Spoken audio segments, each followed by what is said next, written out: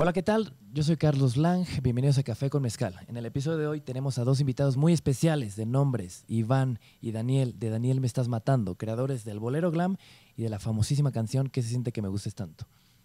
Antes de comenzar este episodio les quiero compartir un breve palomazo que se aventaron. Ahí les va. Y si te doy mi vida y no es tu medida, amor, verás que el mejor sastre es hacer un desastre con mi corazón.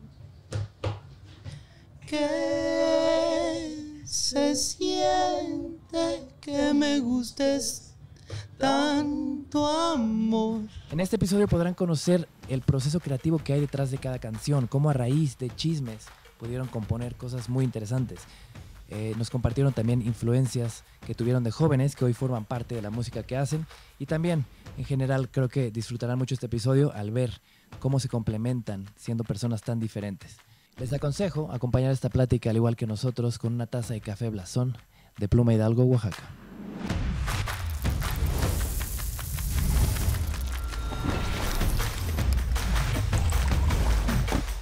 Bienvenidos a Café con Mezcal. Muy bonito día, bienvenidos una vez más a Café con Mezcal, este es su podcast donde el café pone la plática y el mezcal la pone un poquito mejor. Igual y, y- y no, no, no, o sea, hoy va a ser café con café. De mi parte sí, pero este chavo tal vez no, ¿sí? Dios quiera. El día de hoy tenemos a dos invitados bastante especiales. En verdad soy un gran, gran, gran fan. Tú de ustedes. cuerpazo. Ya vimos las, mancuer- las mancuernas acá abajo. Ya entendí todo. Ya entendí todo.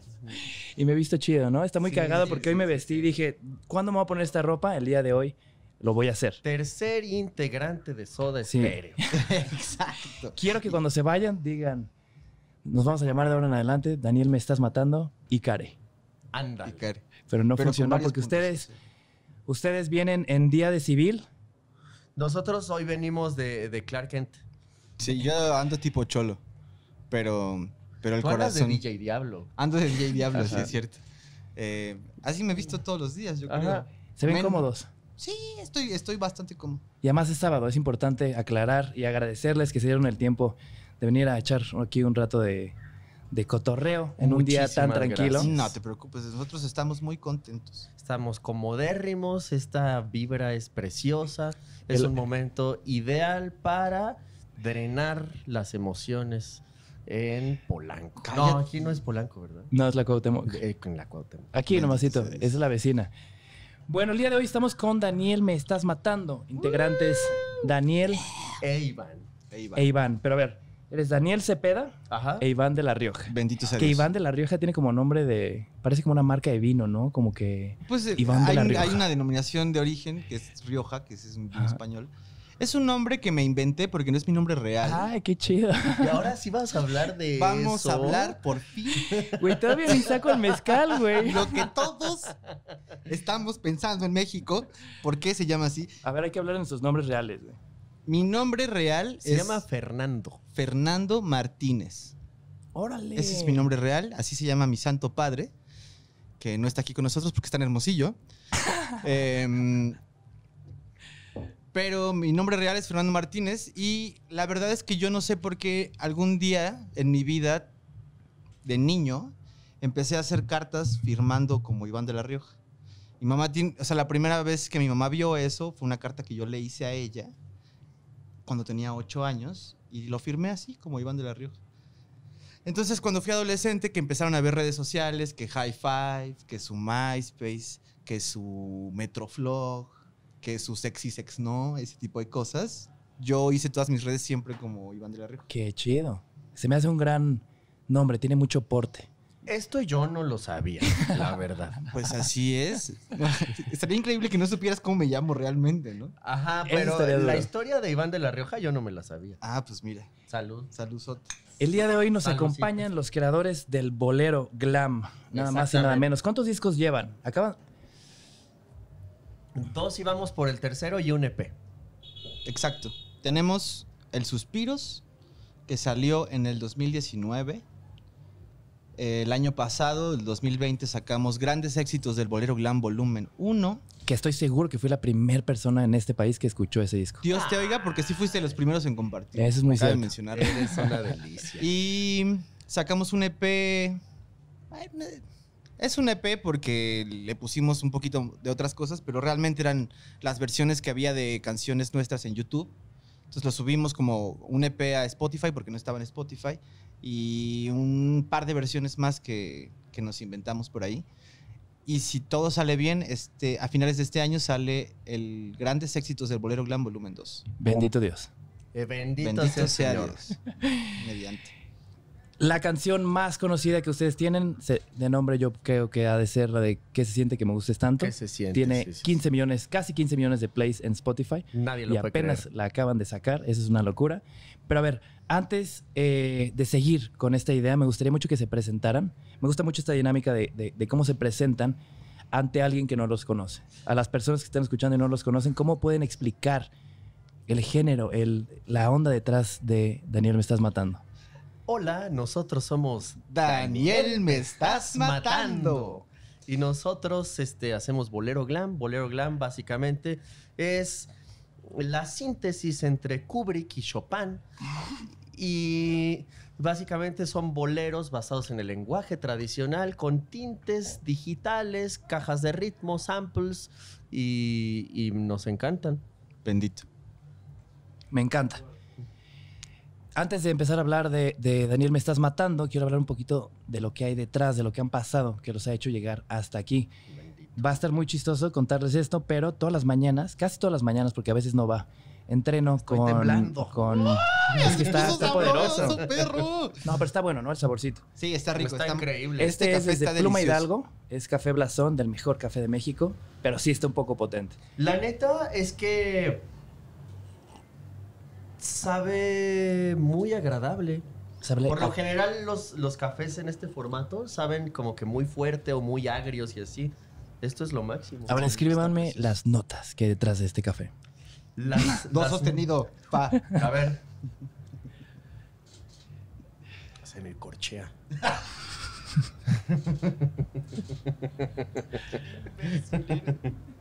Eh, yo creo, yo no sé nada de café. Me gusta mucho el café, pero yo siento que tiene un aroma rico como de tierrita. Tierrita. Y a mí me gusta eso. Es correcto. Hace Sabe a ratito que lo, que lo preparaste, me di- diste a oler así y yo Y dijiste, no que- huelo nada. Exacto. Sí, voy a tener que salir un momento. Eh, me dio tantito la vibra de chocolatito. Y nosotros tomamos café diario. No sé qué tan chido esté el café que tomamos. Seguramente está horrendo. No somos muy exigentes con el café. Pero esto hay que, hay que destacarlo. Disfrutarlo, correcto. Sí, sí, sí. Qué bueno que me dices que toman mucho café porque les traje muy buen café. No, estás de Veracruz, hermoso. de Chiapas y de la bellísima Oaxaca. Bendito. Pero se me estaba yendo el avión.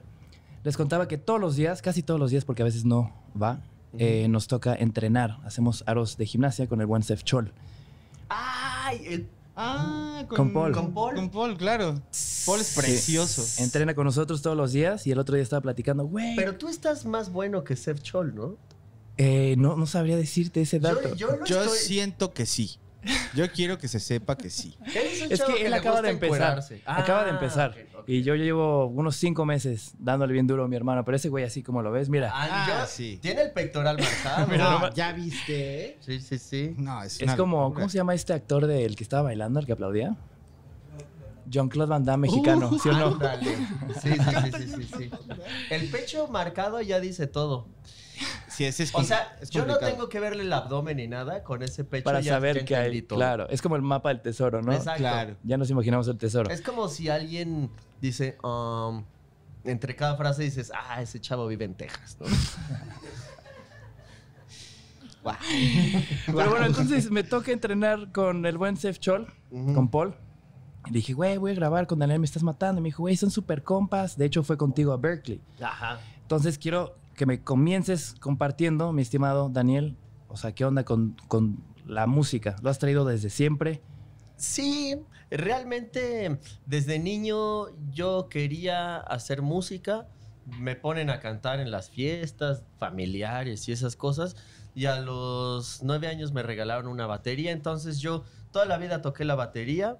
eh, me fui a Berkeley y así. Regresando, Berkeley es una escuela de jazz. Entonces regresando yo me dediqué exclusivamente a tocar jazz como hasta justo antes de la banda. Y además, este, mi papá siempre ha tenido estudio de grabación en la casa. O sea, lo traes en la familia, siempre te ha... Siempre me ha gustado. Y lo que sucede es que yo al tener un estudio de grabación en la casa, por muy mal que lo sepa usar, este, pues siempre he estado ahí. Entonces, poco a poco, desde adolescente me empecé a involucrar como en producciones de hacer jingles, música de telenovelas, este, cosas, me tocó hacer cosas para Juan Gabriel, o cosas para Manzanero, para Alex Lora, para Emanuel. Wow. Este. Y así yo le estaba echando ganas como paralelamente a la batería y a la producción. Nunca me pasó por la cabeza cantar. Aunque, aunque me gustara cantar, yo, yo nunca lo quise hacer. Se me hacía raro. No, no me identificaba tanto porque la cosa que yo tenía, la referencia que yo tenía de cantante, pues era como Cristian Castro, que canta increíble, pero él personalmente no me gusta tanto. Claro. Entonces, este, Qué fuertes revelaciones.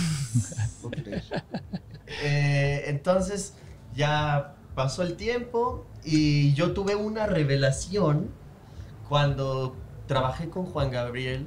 Él me, él me abrió los ojos y me dijo, deberías de cantar en español. Así llegó y Casi, casi, casi, casi. canta en español. Y, espe- y entonces empecé a tratarlo de hacer y, y resultó que se murió y me pegó mucho. No, no de que llorara y así, sino de que me pegó este, que el güey que me recomendó eso acababa de morir y había dejado todo este legado y había, había, había repercutido tanto en mi vida. Entonces eso y algunas otras cosas hicieron que a mí me dieran ganas de hacer una banda de música eh, latinoamericana tradicional. Ok, hice creo que muy buen research y me encontré con Daniel Cepeda y sus moscas bravas. Me aventé Nubecita, Ajá. eh, Maldita Pubertad. Güey, qué locura de proyecto también. Botitas nuevas. Botitas, pues El la- Pachuco. Era puro jazz, ¿no? Yo soy el fan Era número jazz uno. clavadísimo y me gustaba, se disfrutaba, pero empecé a yo a tener esta inquietud de tal vez ni siquiera estoy dejando una cuestión tan honesta de mí. Órale. Tal vez estoy siendo demasiado pretencioso y pero realmente esta música no conecta tanto conmigo aunque le haya echado tantas ganas para llegar aquí. Y entonces este pues solo fue, a ver, vamos a tus al mero origen de tu vida y me topé con que yo quería ser Juan Gabriel. Órale. Qué chingona declaración. Justo hay una Ah. entrevista que te hicieron hace como cinco años que tienes todo tu look como neoyorquino, que tienes tu Ajá, chamarra. sí, sí, sí, Y me encantó que en algún punto dijiste, yo solo quiero hacer música. Hay gente que tiene únicamente un, o que, que tiene solo un tema de conversación. Mm. Y no quiero ser esas personas, yo quiero experimentar. ¿Eso lo dijiste hace cinco años? Y mira nomás. Si yo hubiera leído eso, no hubiera hecho una banda contigo. Qué hueva. Mm, tal vez yo me refería a que en la a que en- yo como baterista eh, tiendo a tener un lenguaje y pues cada género tiene un lenguaje y no quería aferrarme solamente a, tener el lenguaje del jazz o el lenguaje de la música latina o el lenguaje de del swing o lo que tuviera que ser. A mí me gustaba esta cosa de la versatilidad y poder tocar por lo menos más o menos libremente distintos lenguajes. Tal vez a eso me refería, ya No, ni me no, no. acuerdo por qué dije Y me eso. encanta que hayas dicho eso porque creo que Daniel me estás matando es claramente eso. Es un experimento que una rola es un bolero, la siguiente es una cumbia, la siguiente tiene un toquecito de salsa. Entonces se me hace muy congruente que lo que dijiste es exactamente lo que estás haciendo. Pero bueno, vamos con el segundo inte- integrante de nombre Iván de la Rioja. Cuéntame Bendito, bendito sea Dios. de Amigo de las Flores. ¡Ah! ¡No se puso sabroso. Güey, pero qué rica rola. Qué gran video. Me encanta el paréntesis de Flores tristes cantando. Haz de Esa cuenta fue que... Giovanna, ¿no? Ese fui yo. Ok. Pero, pero Giovanna me ayudó a aterrizar ese, ese concepto. Ese fue el segundo video que hicimos con Giovanna Tomasi, que ella hizo el lyric video de. Bueno, el lyric video y el videoclip de qué se siente que me gustes tanto. Yo la busqué a ella porque ella había hecho un video para un amigo mío que se llama Iván Musalem, que tenía una banda, o tiene una banda que se llama Flamingo Sonce Mm. y vimos esa estética como de collage y dijimos, creo que está cool. Y Amigo de las Flores era un proyecto, bueno, Iván de la Rioja paralelamente a, a Daniel Me Estás Matando, como que casi casi saqué ese sencillo al mismo tiempo que la banda. Y yo acababa de regresar de Cancún y entonces yo estaba... Yo estaba muy triste. no sé qué escuchar una canción. Estaba muy triste un día en mi casa porque extrañaba vivir en la playa y escribí esa canción y la saqué. Güey, qué chida rola, qué chido video. Miss, cabe mencionar que nadie entiende esa canción, pero si te la explica, dices, ay, entendí. Y básicamente es que él se está hablando a él mismo y se cita a él mismo con una taza de té a platicar. Y a comer flores. Sí, exacto. O sea, la canción en sí habla como de una plática interna de ti mismo diciéndote, pues tú dijiste que siempre que la, la ibas a romper y todo iba a estar increíble y que te ibas a regresar de Cancún y ibas a hacerlo todo perfecto, Wow. pero la neta es que no siempre estás bien, entonces no pasa nada, ¿no? O sea, fue una canción un poquito sad, con un poquito de nostalgia. Todas mis canciones son sad. ¿Qué será? Como un. Como el no has llegado a donde dijiste que querías llegar. No, como no pasa nada si no llegas. Wow. O sea, como de no pasa nada si estás triste, no pasa nada si, si te acuerdas con nostalgia como de tu departamento frente al mar y ese tipo de cosas, te puedes sentir triste y vas a estar bien. O sea, todo Qué chido. chido y qué mensaje tan valioso para esta época, ¿no? No se entiende, pero está, está bien. Güey, pero lo loco de ese video es que ya desde ahí tenías muy claro el tema de lo que dices, lo que cantas y cómo te vestías. O sea, toda la el arte o lo que traes puesto que parece como Chinese, no sé. Lo que pasa es que todo el concepto de la canción y de todo salió de una película de Akira Kurosawa que se llama Dreams. Eh, esta película es como una biografía de, de Kurosawa a través de sus sueños. Entonces, literalmente son como cortos la película de, de sueños de él desde niño hasta que muere, ¿no? Y hay un sueño en particular que es él soñando como con, como con los espíritus de unos árboles de, durazno, donde le reclaman a él que su familia cortó todos los árboles de durazno.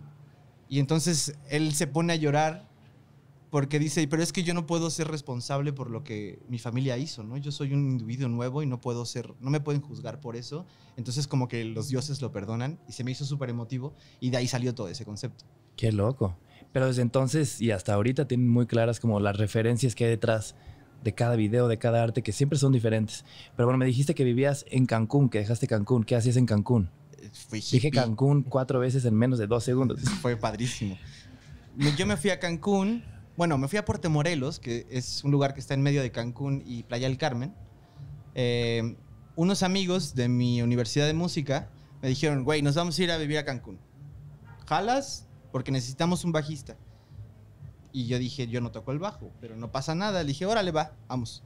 Eh, me pidieron que fuera por lo menos tres semanas para que ellos llegaran a buscar jales y en lo que salían los jales, traer a un bajista que, que tocara. O sea, únicamente ibas a ir tres semanas y te regresabas. Yo iba a, ir, y- ajá, iba a ir tres semanas. En el momento en el que yo me fui, yo había pasado por una situación emocional fuerte con una persona de la que estuve enamorado muchos años. Que tú, tú sabes quién es. Ah, sí, sí, sí, sí, sí, sí. Eh, bueno, no enamorado, como que tenía un crush así raro. Y luego me hizo caso, pero tenía novio, entonces cortaba el novio y estaba conmigo y bla, bla, bla, bla. O sea, como esta Suena cosa. duro eso. Sí, seis meses así. así Güey. de ir y regresar, ir y regresar y regresar. Entonces yo ya estaba harto y estaba cansado emocionalmente y me dijeron eso y dije, pues órale va, va mitos. Fui tres semanas y me quedé cuatro años. Eh, ya no me quise regresar, yo dije, no, pues ¿para qué regreso? Güey, cuatro años, es un ratote, tocando. Tocando, aprendí a tocar el bajo porque no sabía tocar el bajo. eh, y ahí fue donde empecé a cantar porque la cantante que iba a llegar a cantar a esa banda no llegó, que es esta chava por la que nos conocimos. Ah, ese. uh. Claro. Eh, no llegó la cantante, entonces dijeron, bueno, pues tú eres el que más afina, pues tú toca y canta. Y yo, pero no sé tocar el bajo y no sé cantar. Ah, pues a ver cómo le haces, porque si no, no tragas, ¿no? Miss, cabe decir que Ivy ni siquiera sabía manejar y se fue en coche a Cancún. Sí, me llevé un carro y dije, no, no pasa nada porque un estúpido me dijo, no, yo sí sé manejar, yo manejo cañón. Y cuando le enseñé el carro me dijo, ah, pero es estándar, yo ahí sí no. y lo intentaba aprender, intentaba arrancar así de avanzar y se la apagaba. Entonces fue como de, eres un idiota, yo voy a manejar. Y me llevé mi carro desde el DF hasta Puerto Morelos. ¿Y cómo fue vivir allá? O sea, era tocada y tocada y tocada. Pues fue muy loco porque llegué y estábamos tocando un montón, entonces yo estaba así como de, no, sí, ya soy feliz, toco diario. O sea, el sueño se cumplió. Sí, fiesta diario, todo increíble. Entonces de repente se acabó la temporada alta, que le llaman allá, y no tenía un solo jale ni un solo peso. Entonces me fui a vivir a la selvita, pagaba una palapa por 500 pesos mensuales y viví ahí unos meses. Qué loco. Y estuvo chido. Ahí se le quitó el miedo a los bichos. Wow. Exacto. Mira, O sea, sí re- que sabes la historia. Regresaste sin miedo de a los bichos, aprendiendo, o sea, ya sabías manejar, ya sabías Sí. tocar bajo, sabías ya cantar. sí. Di- Me dijiste que, o sea, ya cantabas antes de haber vivido en la playa. Eh, O sea, sabía que afinaba y me gustaba cantar para mí. Me gustaba Nirvana y me gustaba eh, Pearl Jam, me gustaba Led Zeppelin. O sea, yo cantaba para mí, ¿no? Pero esa fue la primera vez que yo empecé a cantar como en un sistema de intercambio mercantil. Órale. Eh, y chido, estuve cuatro años allá hasta que ya no aguanté estar en un lugar tan pequeño y me regresé al DF. Ok, te regresas al DF y en qué momento se conocen por esta chica que no llegó a cantar. Exactamente. Ella después llegó y Ok. estuvo un rato con nosotros. Y ya se regresó al DF porque ella estaba mucho con su proyecto porque un tal Daniel Cepeda le prometió éxito. ella se regresa para tener ese éxito porque el tal Daniel Cepeda le iba a producir un disco. Entonces yo dije, ah, va, pues cuando regrese, pues me meto a tu banda de bajista y bendito sea el Señor. Eh, ese tal Daniel Cepeda tenía una fama de baterista y de ser completamente irreverente en Facebook y en sus redes sociales. Entonces a mí me caía mal. Ah, Eh, O sea, lo conocías solo por Facebook. Sí. Ajá, yo lo, yo lo tenía en Facebook y... ¿Pero ya eran amigos en Facebook? Ajá, estábamos agregados en. Facebook. ¿Y quién le pidió a quién ser amigo? Yo, porque yo lo conocí una vez que un amigo me llevó a la Faro, que es la escuela donde él estaba, Ándale. y ahí lo conocí y todo bien. Y este amigo es muy especial. Este amigo andaba con la morra con la que yo estaba crushado por la que me fui a Cancún. Órale. Y luego Aquí nos hicimos amigos. chida. Sí, Sí, sí, sí, sí. mi vida es Iván una de la. Rioja. Iván de la Rioja. de la Rioja. Un amor real. Sí, bendito sea Dios. Entonces yo así lo conocí, pero solo lo tenía en Facebook y era súper irreverente y decía cosas terribles como de, ay, sí, cosas horribles que, no, que hoy ya no se pueden decir. Em, Hay que borrar esos posts luego. No, ya, eso ya- un buen trabajo. Ya se hizo. y Cuidado de delicado. él, imagen. él aprendió, él aprendió. Sí, O sea, sí, sí. Aprendió qué qué- qué- qué se puede decir y qué no se puede decir. El chiste es que yo sabía eso de él y luego vi que subió una versión de batería y voz cantando Black Dog de Led Zeppelin con un looper, un tecladito y su batería. Y yo dije, vámonos, este chavo sí le sabe, cabrón. Y luego vi otra que subió de Michael Jackson de... You gotta be starting something. Exacto, exacto. Y yo dije, ah, pues es chido. O sea, De hecho, ese video es el que yo le mandé a Juan Gabriel. Y Órale. me dijo, yo pensé que me iba a decir, ay, lo haces increíble. Me dijo, a ver en español. y pum. Y pum. Entonces yo regreso en el 2016 a- al DF a tocar en esa banda y, y a dar clases y hacer lo que fuera, porque ya no quería vivir en, en Puerto Morelos. Eh, y así conocí al señor Daniel Cepeda A través de ese video. a través Le de ese escribiste, video. le mandaste un DM. No, nos conocimos ya en, en el cuarto de ensayo. O sea, fue como de, ah, él es el nuevo bajista y ahí está Odín, que es el que nos pegó el bendito sea el señor. Ajá. Y él era el baterista, yo era el bajista. Y ahí nos conocimos. Y lo primero que me dijo fue: Ah, ¿tienes tatuajes? Mm, que una con sin. Y ahora, míralo mira, velo. nomás. Mira. Eh, y ya a partir como que nos caímos bien. Y, y me invitó a hacer jingles porque, como él no toca la guitarra, como que lo requería para lo que estaba haciendo. Y empezamos a trabajar súper rápido y nos llevábamos muy bien y ahí fue como todo empezó. ¿Eso hace cuántos años habrá sido? Como cuatro, ¿no? Mm, 2017 por ahí. Güey, como cuatro. Y hace tres años sacaron la de ¿Qué se siente que me gustes tanto? Qué loco. O sea, su relación fue de 0 a 100. Exacto. Exacto. No, no, sin dudas ni nada. ¿En qué momento le... pro- o sea, tú- Daniel, me estás matando, tú lo invitaste. Realmente eh, yo tenía esta inquietud como de, ay, eh, me fascina esta sensación bohemia desde que soy adolescente o niño y quería hacer otro experimento donde en lugar de tocar esos covers de, de Led Zeppelin o de Michael Jackson, yo podía tocar una canción mía haciendo algo similar con la batería.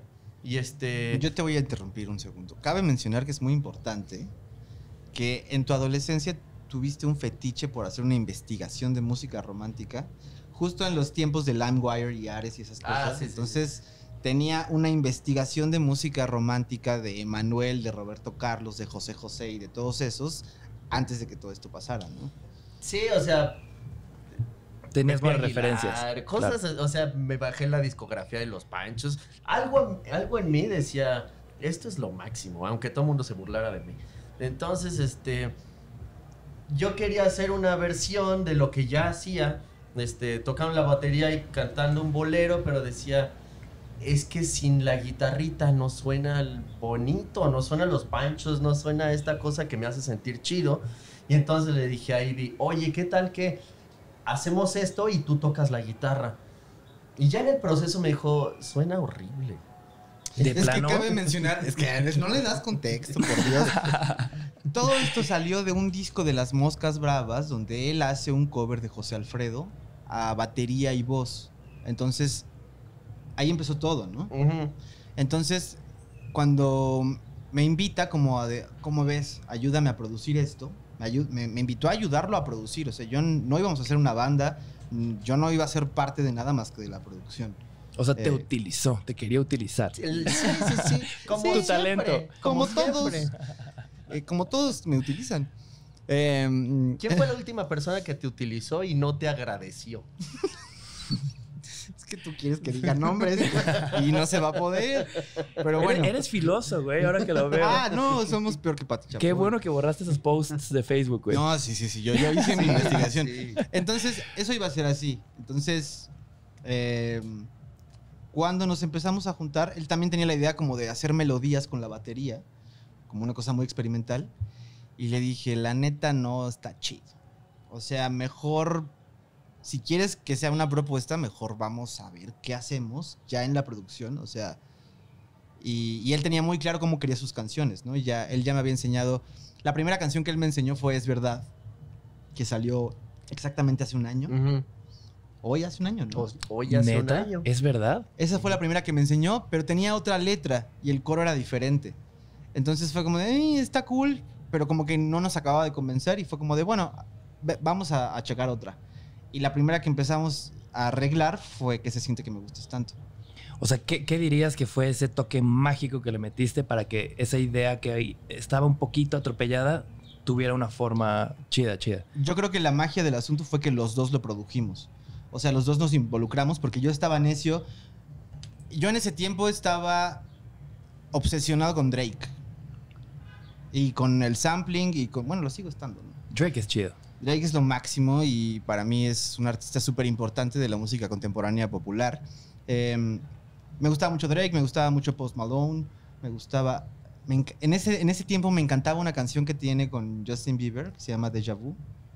Baby, Sí, es del primer disco. Soy Exacto. demasiado fan de Post Malone. güey. Me encanta. Entonces yo le dije, no, no, no, no, no, hay que hacerlo así, con esos sonidos y hay que hacerlo así. Y él dijo, no, qué hueva, yo quiero que suene bonito y que suene romántico, que suene la guitarrita.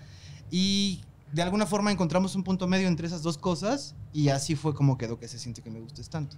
Qué belleza. Literal fue la primera rola que hicieron. Sí, además, Ivy venía de tocar con José Anlog. ah, eso es importante este, también. Él también como que ya tenía esta noción del el sonido indie. Que dije, ah, está chido. Sobre todo de la guitarra. De la guitarra y del tipo de sintetizadores. Claro.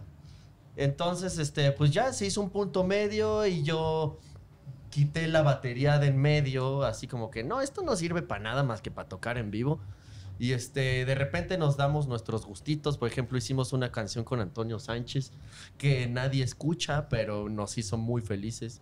Y, y pues ya, así ya, todo, todas las decisiones que se han tomado han sido porque nos dan risa, se toman muy rápido y se ejecutan muy rápido. Si no, si algo de eso falta, se traba y nos pesa y no queremos. Exacto.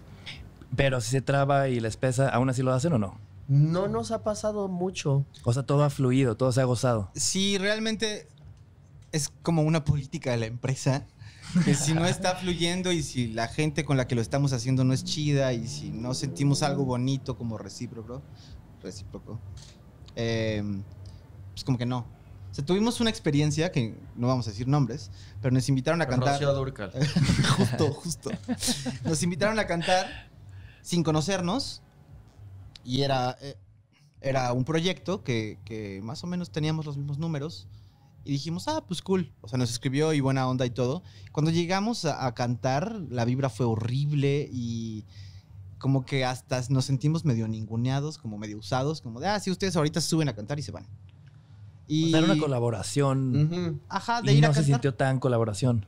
sintió raro. O sea, porque fue como muy.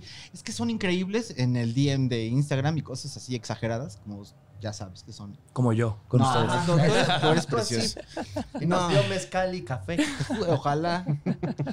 Eh, y ya estando ahí, la vibra no estaba tan padre y como que sentimos una cosa de que se estaba tratando de aparentar una infraestructura gigantesca y, y pues no. Y la rola quedó fea. Y la rola no quedó tan no, bien. era ya para tocar en vivo. O sea, la situación fue como de que íbamos a tocar en el. abajo de un puente importante. Y este. No, pues ya, pues ya mejor di cómo se llama su mamá. Entonces, ya este, el soundcheck y todo esto, y jetas y vibras raras y así. Yo, bueno, pues, perdón. Cabe Qué mencionar que sí, yo cometí el error de no aprenderme bien la canción, pero ya me la iba a aprender bien. Sí, la, ese día. la vibra, Ajá. la- o sea, y si nos la hubiéramos pasado bien y la vibra hubiera estado cool, Otra cosa hubiera sido. pues se hubiera puesto chistoso y hubiera habido una cosa así rara. Porque aparte en el escenario como que ella empezó a interactuar con Daniel como si fueran amigos de toda la vida y hasta medio seductoramente. ¡Órale! Y Daniel así como... Me estás dando jetas y ahora me estás sí, sí, sí, sí, tratando sí. chido. Literalmente. Exacto. ¡Wow! Y después de eso jamás volvimos a hablar. ¿Cómo O crees? sea, güey? jamás. Bueno, yo, por lo menos. Yo tampoco. Ni un Eh, DM de gracias, qué chido que vinieron. Tal vez sí. Mm, Tal vez. Pero en mi corazón no. en mi corazón fue algo que, que no nos gustó y fue una experiencia que no nos gustó. Y hablamos después, Dani y yo. Y fue como de, qué chido que pasó esto porque neta no vamos a volver a hacer nada con nadie que Cuando no realmente vibre. no, no nos dé una buena vibra, ¿no? O sea, Qué loco. Digo, luego es bien hippie hablar de vibras, pero como sí es importante no solo decir que sí, sino que tu cuerpo también te diga sí, güey, jalo. Sí, se- es una cosa, sí es bien hippie, la neta, pero sí se siente, o sea, como de, ah, está cool. Y la neta es que si al final no sale tan bien, pues ya, a la fregada. Cada quien por su lado y todo bien. ¿Y en qué momento deciden nombrar a este dúo del bolero glam? Daniel, me estás matando. La situación es que al mero principio, como Iván no se iba a involucrar más que... Es más, los dos, tal vez los dos primeros videoclips, todavía Ivy ni estaba seguro y yo no estaba seguro que él estuviera seguro. Me estabas usando, Yo ya estaba usando bien. y no le estaba pagando. Ay, no me estabas pagando, sí es cierto. Es que realmente, como que iba a ser una cosa de ver qué pasa. Y si salía chido, yo confiaba en él y yo sabía que él era una persona decente y correcta. Porque aparte también ya había conocido a su papá y su papá también es una persona justa. O sea, entonces yo, yo no sentí una vibra así de que me estuviera usando ni nada. Y yo en ese tiempo yo tenía una vida chistosa y era muy crasher. Entonces como que eso era como mi cosa de, de aterrizar, ¿no? O sea, como de, sí, los fines de semana me destruyo y hago lo que sea, pero esto es, es lo que hago, ¿no? O sea, soy músico y quiero hacer estas cosas. Entonces, los primeros videos que se grabaron eran sesiones en vivo, que Ujú. solo subimos a Facebook, que subió él a su cuenta personal de Facebook como, bueno, no personal, como su cuenta de artista Daniel Cepeda, baterista. Em, y no aparecíamos como Daniel Cepeda. Sí, pero eh, a lo que yo voy es de que yo siento que en qué se siente todavía no estaba, este, como, más bien, la imagen se empezó como a, a- a ofrecer como un dúo, aunque internamente todavía ni nos poníamos de acuerdo cómo iba a funcionar las cosas. Claro. Entonces, el nombre se puso porque iba a ser un proyecto solista y metimos a un bowl tres nombres de los cuales los otros dos nos, nos acordamos. ¿Cómo crees? ¿De plano no se acuerdan? Es que todo, perdóname, te voy a interrumpir. Lo de la necesidad de tener un nombre fue porque ya después dijimos, bueno, ok, somos un dueto, va. Y sacamos una fecha en un lugar que se llama Las Musas del Papá Sibarita, que es un restaurante de comida italiana en la Roma, que es muy rico por si quieren. Orizaba 218A. ¿Tienen, ¡Ah, el, perro! ¿Tienen el teléfono para dejar reservaciones? Eh, es lo máximo. Entonces nos dio una fecha para que vendiéramos boletos y a ver quién quería ir, porque a los videos de la sesión en vivo les había ido bien. Entonces sí había personas por lo menos cercanas que querían ir a escuchar eso en vivo, ¿no? Eh, y así fue como de, bueno, necesitamos un nombre para hacer una banda. Pongamos tres nombres dramáticos en un bowl y se, sal- se sacó ese. Exacto. Y el nombre de Daniel Me Estás Matando también tiene mucho que ver con que yo había visto esta película de Gael de Me Estás Matando Susana. Y dije, yo quiero eso dramático. Yo quiero matar a alguien. Sí, había como tres versiones. Uno, una sonaba como a una novela, otro sonaba como a esa película y otro sonaba como a una canción de Paquita, la del barrio. O Ajá. sea, la intención era tener tres versiones súper dramáticas y a ver cuál salía y esa fue la que salió y no se discutió. O sea, se dio por hecho y así se llama la banda. ¿Y ¿no? por qué crees que te estaba matando? O sea, ¿por qué se les ocurrió bajarlo hacia... Ah, ese fue él. Ah, Ah, no, pues por lo que me acabas de decir, la sí, sí, sí. referencia. Ajá, por esa referencia. Y se nos hizo muy dramático y como todas las decisiones de la banda es, ¿te gusta? Sí. Ah, va, se queda. Ni se pensó. No. No. Sí, tomamos la decisión de el que salga del bowl, ese es. Ah, va, chido. Todo ¿Y bien. por qué crees que si Daniel me estás matando fuera un cuarto, nada más metías el pie y tenías el cuerpo afuera? ¿Por qué, por qué Lo que yo creías? quería. ¿Por qué? ¿Qué fue eso? No otro, sé. otro bebé. Ahora sí se cayó el niño. Ay, Está los bebés. Uy, está recién parido. No, porque tiene la ceja depilada. Es mucho. Buchón, un bebé buchón. ¿Por qué no te convencía entrarle así que se está cayendo aquí todo? No es que no me convenciera, más bien como no se me invitó a hacer una banda, se me invitó a producir, pues más bien poco a poco me fui involucrando a tal caso y que era obvio que era una banda, entonces lo hablamos. Ok. Em, Además, justo en ese momento es- estábamos los dos involucrados con un par de proyectos hermanos eh, donde sucedían cosas que no nos gustaban. Entonces empezamos a hacer como el equipito. sí. Y aparte, yo empecé a sentir esta cosa como que, ay, tal vez ser solista no es muy conveniente. Y éramos una mancuerna que trabajaba muy rápido, se llevaba muy chido, todo bien. Entonces, y además, sin querer como que la interacción en redes, que fuéramos dos y que fuera como medio viruta y capulina, era mucho más poderoso que un güey con barba genérica. Sí, la interacción sobre todo. O sea, más que tú te puedes decir como tú quieras, es tu problema. Pero la interacción era muy complementaria porque él tiene una energía más como de bailar y como buena onda y alegre y hasta guapo. Mírame. Velo, velo, Mira. mira, qué cuerpo. Y eso que no, como voy él. a hacer los aros conceptual. Exacto. Y mi personaje es mucho más hater y más... Está horrible, bla. Entonces como que a la gente le llamaba la atención y, y así se dieron las cosas, ¿no? Bendito sea Dios. Bendito. Todo es correcto. Mediante. Les quiero contar cómo los conocí. Es, es- es muy bonito esa, esa historia porque los boleros siempre han sido parte de mi vida. Soy muy fan de los Panchos, de Eddie Gourmet, de los Tres Haces, etcétera, etcétera, etcétera. Entonces, hubo una vez que hice una playlist que se llama Pásame el Mezcal. Porque siempre entre compas de repente se me ocurrió sacar el mezcal y poner los boleros. Así, ¿vieron los Caballeros del Zodiaco? Claro. Claro. Esa es mi referencia de vida. ¿Neta? Sí, los amo. Güey, o sea, es lo único que puedo decir y hacer Los por amo ahora. así, a, a otro nivel. Pero ¿te acuerdas que como que siempre había un golpe que, que daban en el corazón y te Ah, atravesaba? sí. Ese fue cuando fue el torneo. Y también luego lo hacían así. Aguja escarlata. Exacto, exacto. Nos podemos poner bien ñoños aquí. No, y aparte con su. el- la armadura llegaba hasta aquí.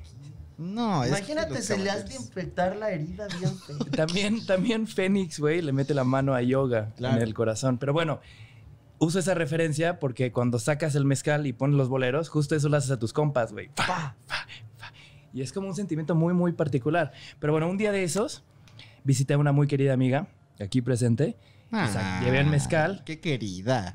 Llevé el mezcal, puse los boleros y en mi playlist de boleros que ya por todas partes compartí en Instagram, eh, de repente entra su rola. Yo no tengo idea en qué momento entró la de qué se siente que me gustes tanto a una lista con Jaime Jaramillo, no, Eduardo Jaramillo, con los tres haces, Ah, Julio Jaramillo. Julio Jaramillo. ¿Qué dije, Eduardo? Eduardo, muy mal pues con- es que Bueno. Capetillo. Sí, sí, sí. Jaramillo. con Julio Jaramillo. Entonces me dice, oye, ellos son Daniel, me estás matando. Ellos hicieron esa rola hace muy poquito. Y dije, ¿qué me hablas? Estos boleros son de hace mucho tiempo. No, no. Y de repente me dice, escucha esto. Y me pone todo el disco de suspiros. Y yo dije, qué loco. ¿Cuánto Pero, te debemos? Nos pases la cuenta, por favor. pero lo que se me hace loquísimo es que no, yo no me había dado cuenta que ustedes estaban en una lista de- con Eddie Gourmet, con los panchos, güey. Y de repente es como, o sea, vivimos en una época que todos quieren reggaetón, que todos piden pop. ¿En qué momento se les ocurre ser boleros? Él- es culpa de él. Eso es culpa de él, porque cabe mencionar que su abuela siempre cantó boleritos, cha-cha, Mm. danzón, como la Big Band mexicana, ¿no? Y su abuelo, por otro lado, que también era músico, tenía un disco de trova yucateca increíble. Órale. ¿Con todo el acento? Mm, sin Él decía que él decía que era de Yucatán. No era cierto, pero todo el mundo le creyó. Al sol. Mentirosito, ya vi de dónde lo sacó. Eh, un disco increíble. O sea que cuando empezó el proyecto, Dani me dijo: Yo quiero esto y quiero esto. Él por eso tenía esa idea tan tradicional de, hacer un proyecto tradicional. Porque ese disco de Trova Yucateca de su abuelo, que de alguna forma la, la Trova Yucateca tiene todo que ver con el bolero mexicano de trío como lo conocemos, ¿no? O sea, como que de ahí sale el concepto que después hacen los, los panchos. Em, ¿Y por qué estoy diciendo esto? ¿Que ¿Por qué boleros? Ah, En En una, época, de sí. reggaetón. porque, justo por eso, porque él tenía esta idea de, ah, yo quiero cantar en español porque Juanga me dijo, y estos son mis raíces, entonces yo quiero hacer esto, ¿no? Eh, por mi lado, con la, con la música en español, o sea, yo siempre he escuchado mucha música, pero mi música en español, los primeros dos cassettes que yo tuve a los ocho años fue uno de Enrique Iglesias, que venía la de, es casi una experiencia religiosa. Ese fue el primero. Y el segundo fue la de la mochila azul. A Pedrito de Fernández. dormilones. Entonces, era, era como música que me daba un montón de nostalgia. Y después yo me enteré que mi abuelo, el papá de mi mamá, que yo no conocí porque creo que él murió el mismo año que yo nací, él cantaba con sus hermanos y tenían como un trío. Entonces mi mamá cada que se ponía nostálgica ponía a Los Ángeles Negros. Uy. Entonces, para, sí, sí, sí. Entonces yo la primera vez que puse un disco de ellos y escucho, déjenme si estoy llorando. Y dije, wow, yo soy ese, y déjenme si estoy llorando, soy yo. Y, y como que ese es mi click con, con la música en español, principalmente.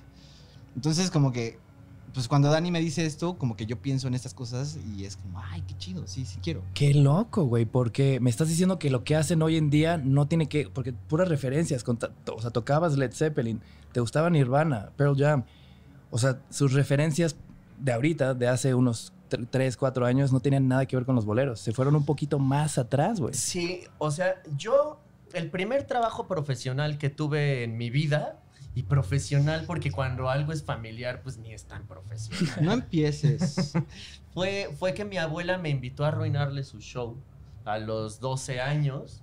Eh, me invitó a tocar en Houston con ella y era un escenario así de 5 mil personas y así. Entonces me No aprendí sabía que habías en 12 Houston. años, 12 años. 5 mil personas. Ajá. Pon tú, pon tú que eran 4.900. Órale. Que eran 10. Yo tenía 20. La cosa es que yo me aprendí ese disco en el hospital, sí es cierto, porque me había dado asma y estaba yo en terapia intensiva. Y entonces me aprendí el disco completo, más bien la discografía completa, para poder yo tocar ese show. Y pues la batería es una cosa que puedes aprenderte en tus piernas, no necesitas tener el instrumento. Entonces, pues yo al tener esa experiencia de que la primera vez que yo toqué un trabajo fueron boleros y chacha, pues hizo que yo tuviera en el disco duro de mi cabeza este, cierta información desde muy temprana edad musical. Y luego durante toda mi vida, pues el- mi abuelo se murió cuando mi papá tenía 14 años. Entonces siempre ponía el disco de mi abuelo de la trova yucateca al punto que llegó un punto en el que yo me se lo sabía mejor que él. Órale. Entonces yo tenía esas dos referencias, más aparte de mi escrutinio neurótico de LimeWire, bajando a Los Panchos y a Pepe Aguilar y a Pedro Infante y así. Y un chingo de virus, ¿no? Yo- sí, la verdad es que para haber tenido esa edad y ese programa, no bajé pornografía. No, pues es que no hubiera, tu computadora no hubiera servido. Yo no voy a decir por qué sé esto, pero tu computadora no hubiera servido. Y entonces ya, este, años después, los dos acudimos a estas referencias, como que a mí me encantan los ángeles negros, entonces si van hizo no soy nada. Y a mí me encantan los panchos y yo hice qué se siente. Y entonces hemos Mm, ido sí. complementando las diferentes referencias románticas de la banda. Porque son boleros a final de cuentas. O sea, yo estoy obsesionado con Héctor Lavoe, con Willy Colón y con la Fania y esas cosas. Y al final de cuentas, pues esos son boleros. Y en México no es como que se entiende tanto como bolero, se siente más como salsa. Pero el bolero más bien sonaba así, o sea, como en Puerto Rico o como en, en Cuba, ¿no? O sea, lo de los panchos y los tríos es una cosa que vino después y que más bien nació en Estados Unidos, igual que la salsa. Eh, pero sí, o sea, como que teníamos referencias bolerísticas sin, sin estar conscientes de que eran bolerísticas, pero de diferentes géneros y en diferentes formatos, ¿no? Sí, también hubo una investigación y como una síntesis como de que, pues sí, es que el bolero es el formato tradicional de la canción en español. Y como veníamos de estudiar jazz, de alguna forma, en el mundo del jazz lo que haces es transcribir todo el tiempo, transcribir, escuchar mucha música, eh, transcribir solos, como para agarrar lenguaje y ese tipo de cosas. Y la versión de los estándares de jazz latina son los boleros.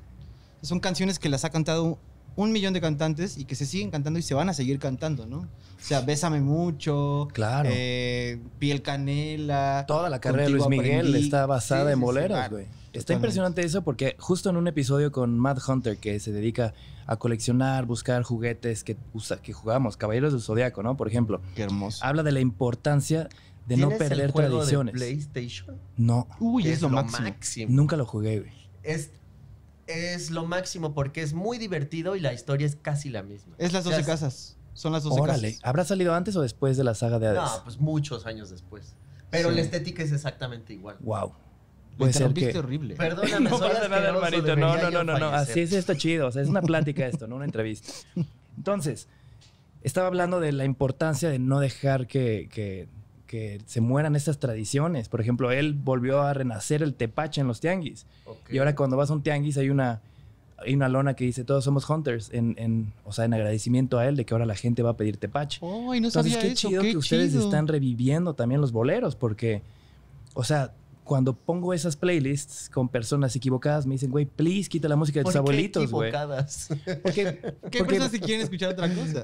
O por supuesto, claro, igual y no es equivocada, igual es la situación equivocada para que yo saque el bolero, porque un bolero no lo puedes sacar en cada momento, ¿sabes? Sí, sí, sí, sí, sí. Es una, es, es una cuestión de intimidad. O sea, el bolero es emocionalmente fuerte. Pero ¿sabes qué está impresionante de, de- de- de ustedes? Y me emociona mucho esto, que los boleros, como dijeron, o sea, los tocan y los tocan y, y Luis Miguel cantó el que to- cantó los, los- no sé, los tres haces, los... Sí, todos. Tal, tal, tal. Todos cantaron todos. Pero ustedes no están haciendo, o sea, no están repitiendo, están creando de nuevo nuevos boleros, güey. Eso es muy valioso. Sí, hace poco. Ay, qué, qué, qué modesto. Sí, soy un genio. Sí, pues Sí, ya sabía. no, más bien, este, ese fue como el eslogan principal de la banda. Revivir boleros. Digo, reinventar hacer, boleros. Hacer nuevos boleros porque no había gente que hiciera nuevos boleros o por lo menos que tuvieran un proyecto comprometido a eso. Por ejemplo, retomando el tema de que Ivy este, dice que venimos de un contexto jazzístico, otras de las señales importantes en mi vida para que empezáramos a hacer ese proyecto es que yo tomaba clases con músicos neoyorquinos, este, pues famosones que tocan en la banda de Winton Marsalis. Que su Ari Honey. Sí, cosas así de pues, New York. Y, y, esos chavos venían y decían, ¿pero por qué, por qué nos quieren copiar?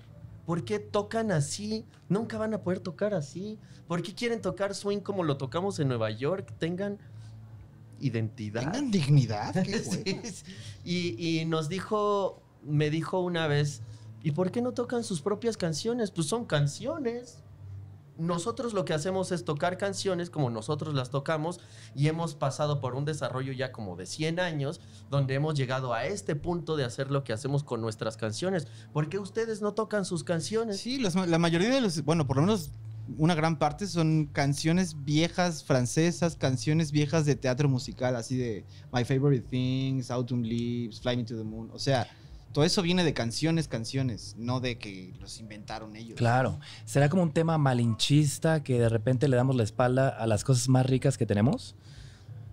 Como dice Ivy, eh, el bolero sí es el formato latino de la canción jazzística. La, la, estructura es igual, la armonía es igual.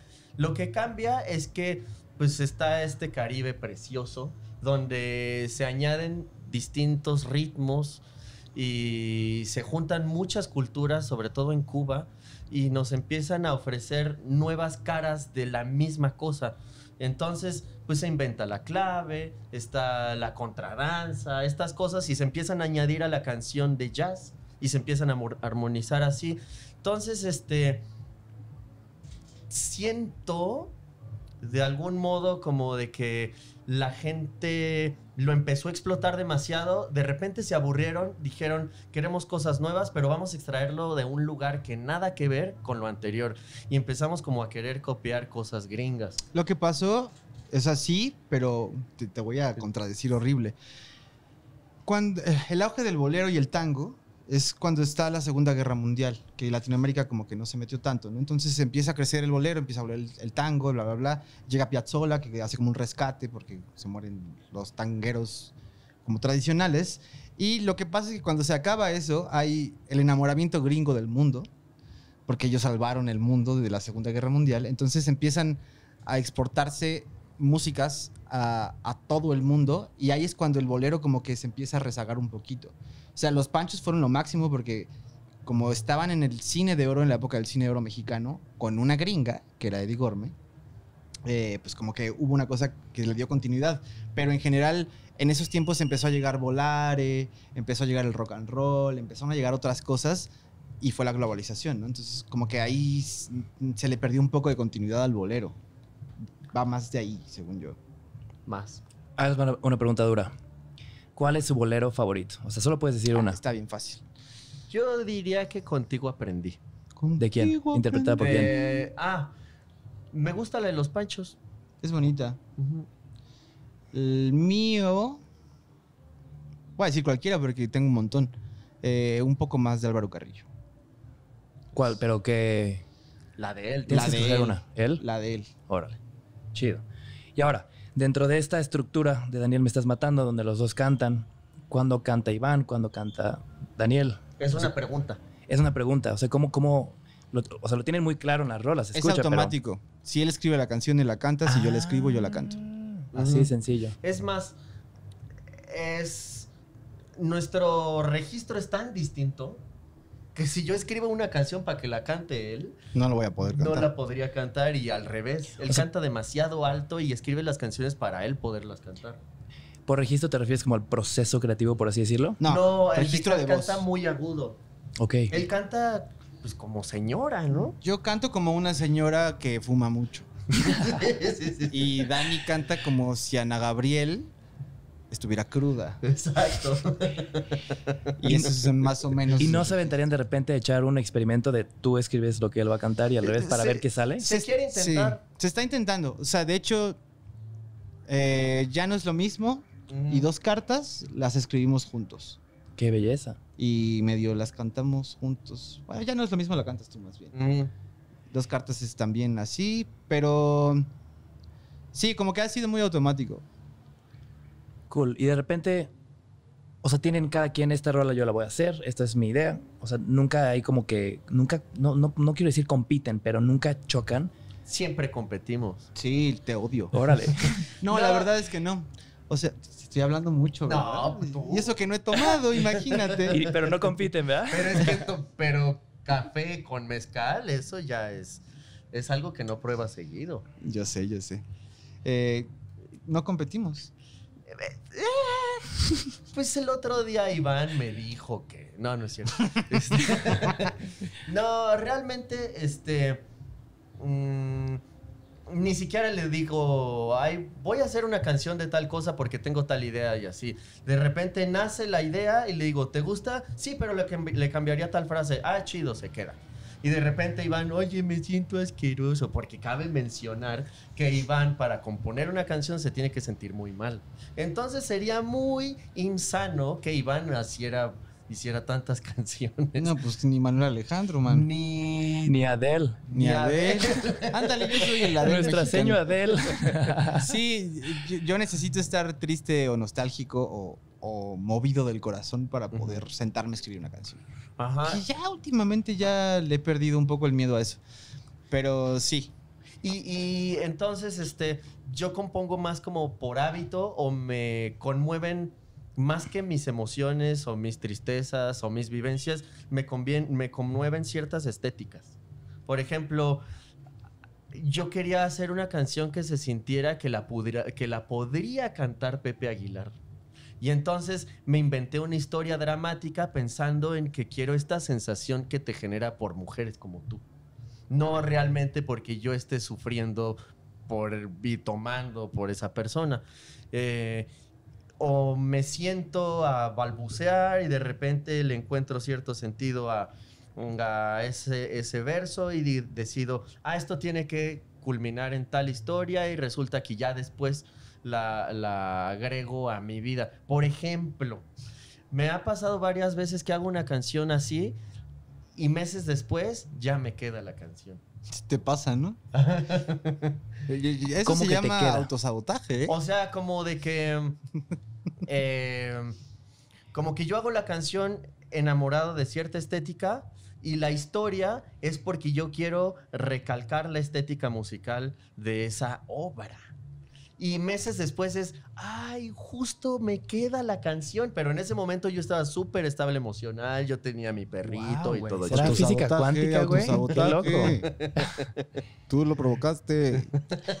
Dentro de las rolas nunca hablan que del perreo, del, del WhatsApp, del... Claro, tenemos una versión de Me Rehuso en Ah, por supuesto. Y es de las más famosas. Será la cuarta más famosa, ¿no? Míralo. Por ahí, sí, por ahí. mi research, además soy fan.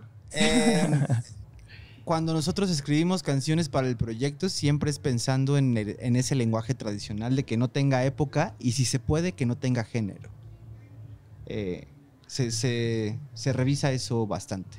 Y eso es bastante interesante porque de alguna manera, no quiero sonar fatalista, pero van un poco en contra de la corriente de lo que todo el mundo está haciendo.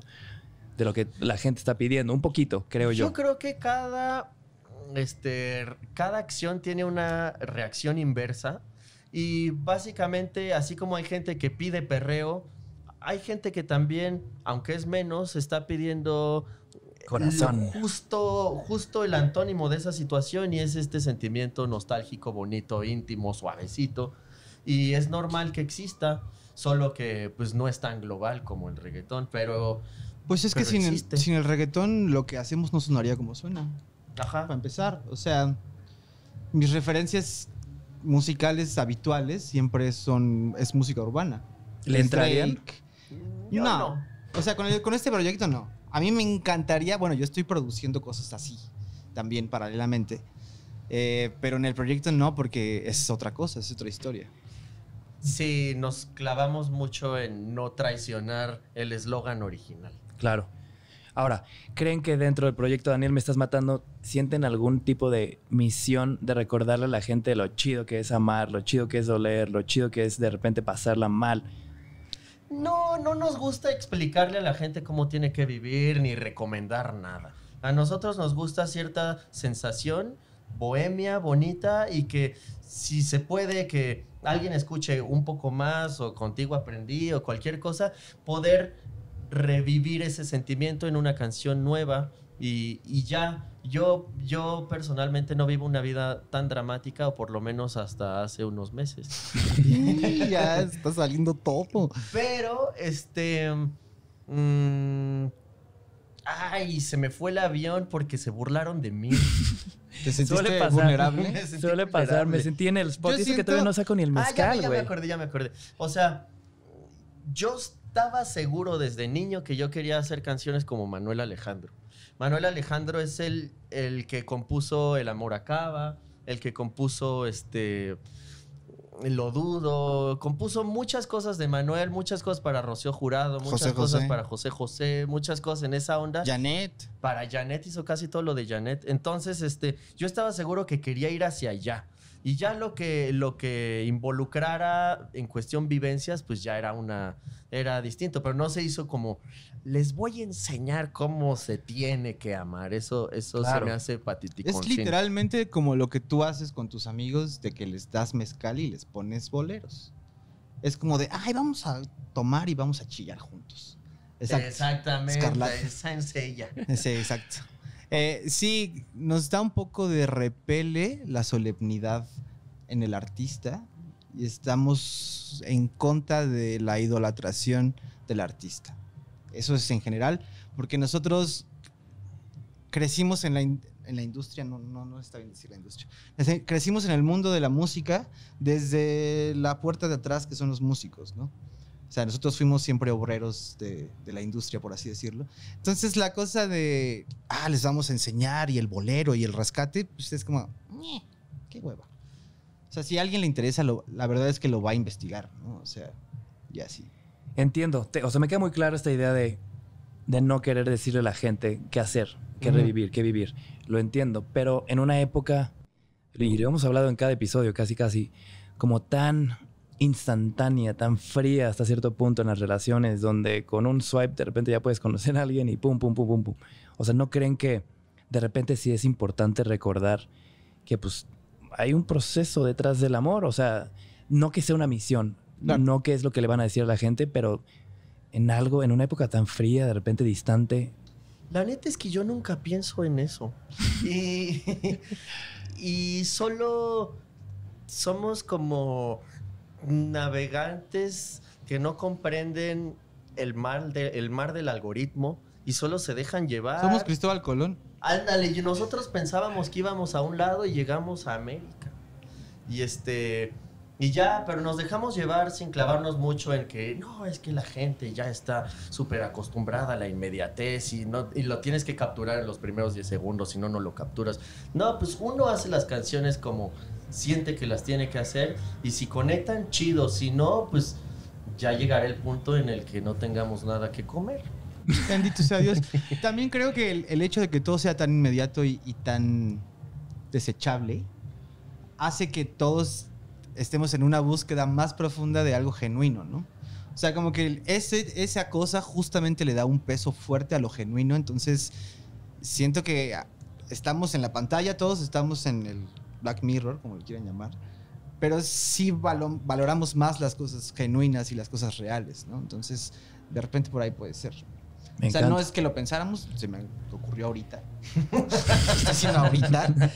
Pero, pues puede ser eso. Claro, lo que decías, igual si no hubiera tanto reggaetón, de repente quizás no habría esta otra oportunidad de enseñar, compartir algo Pues, diferente. yo sé que por lo menos lo que yo hago no sonaría como suena si no hubiera reggaetón y no hubiera música urbana. Por supuesto. Digo que también el reggaetón es bien chido.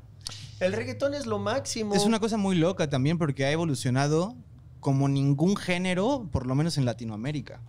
Eso es, eso es muy fuerte porque Es la primera vez que Latinoamérica este es el foco del mundo.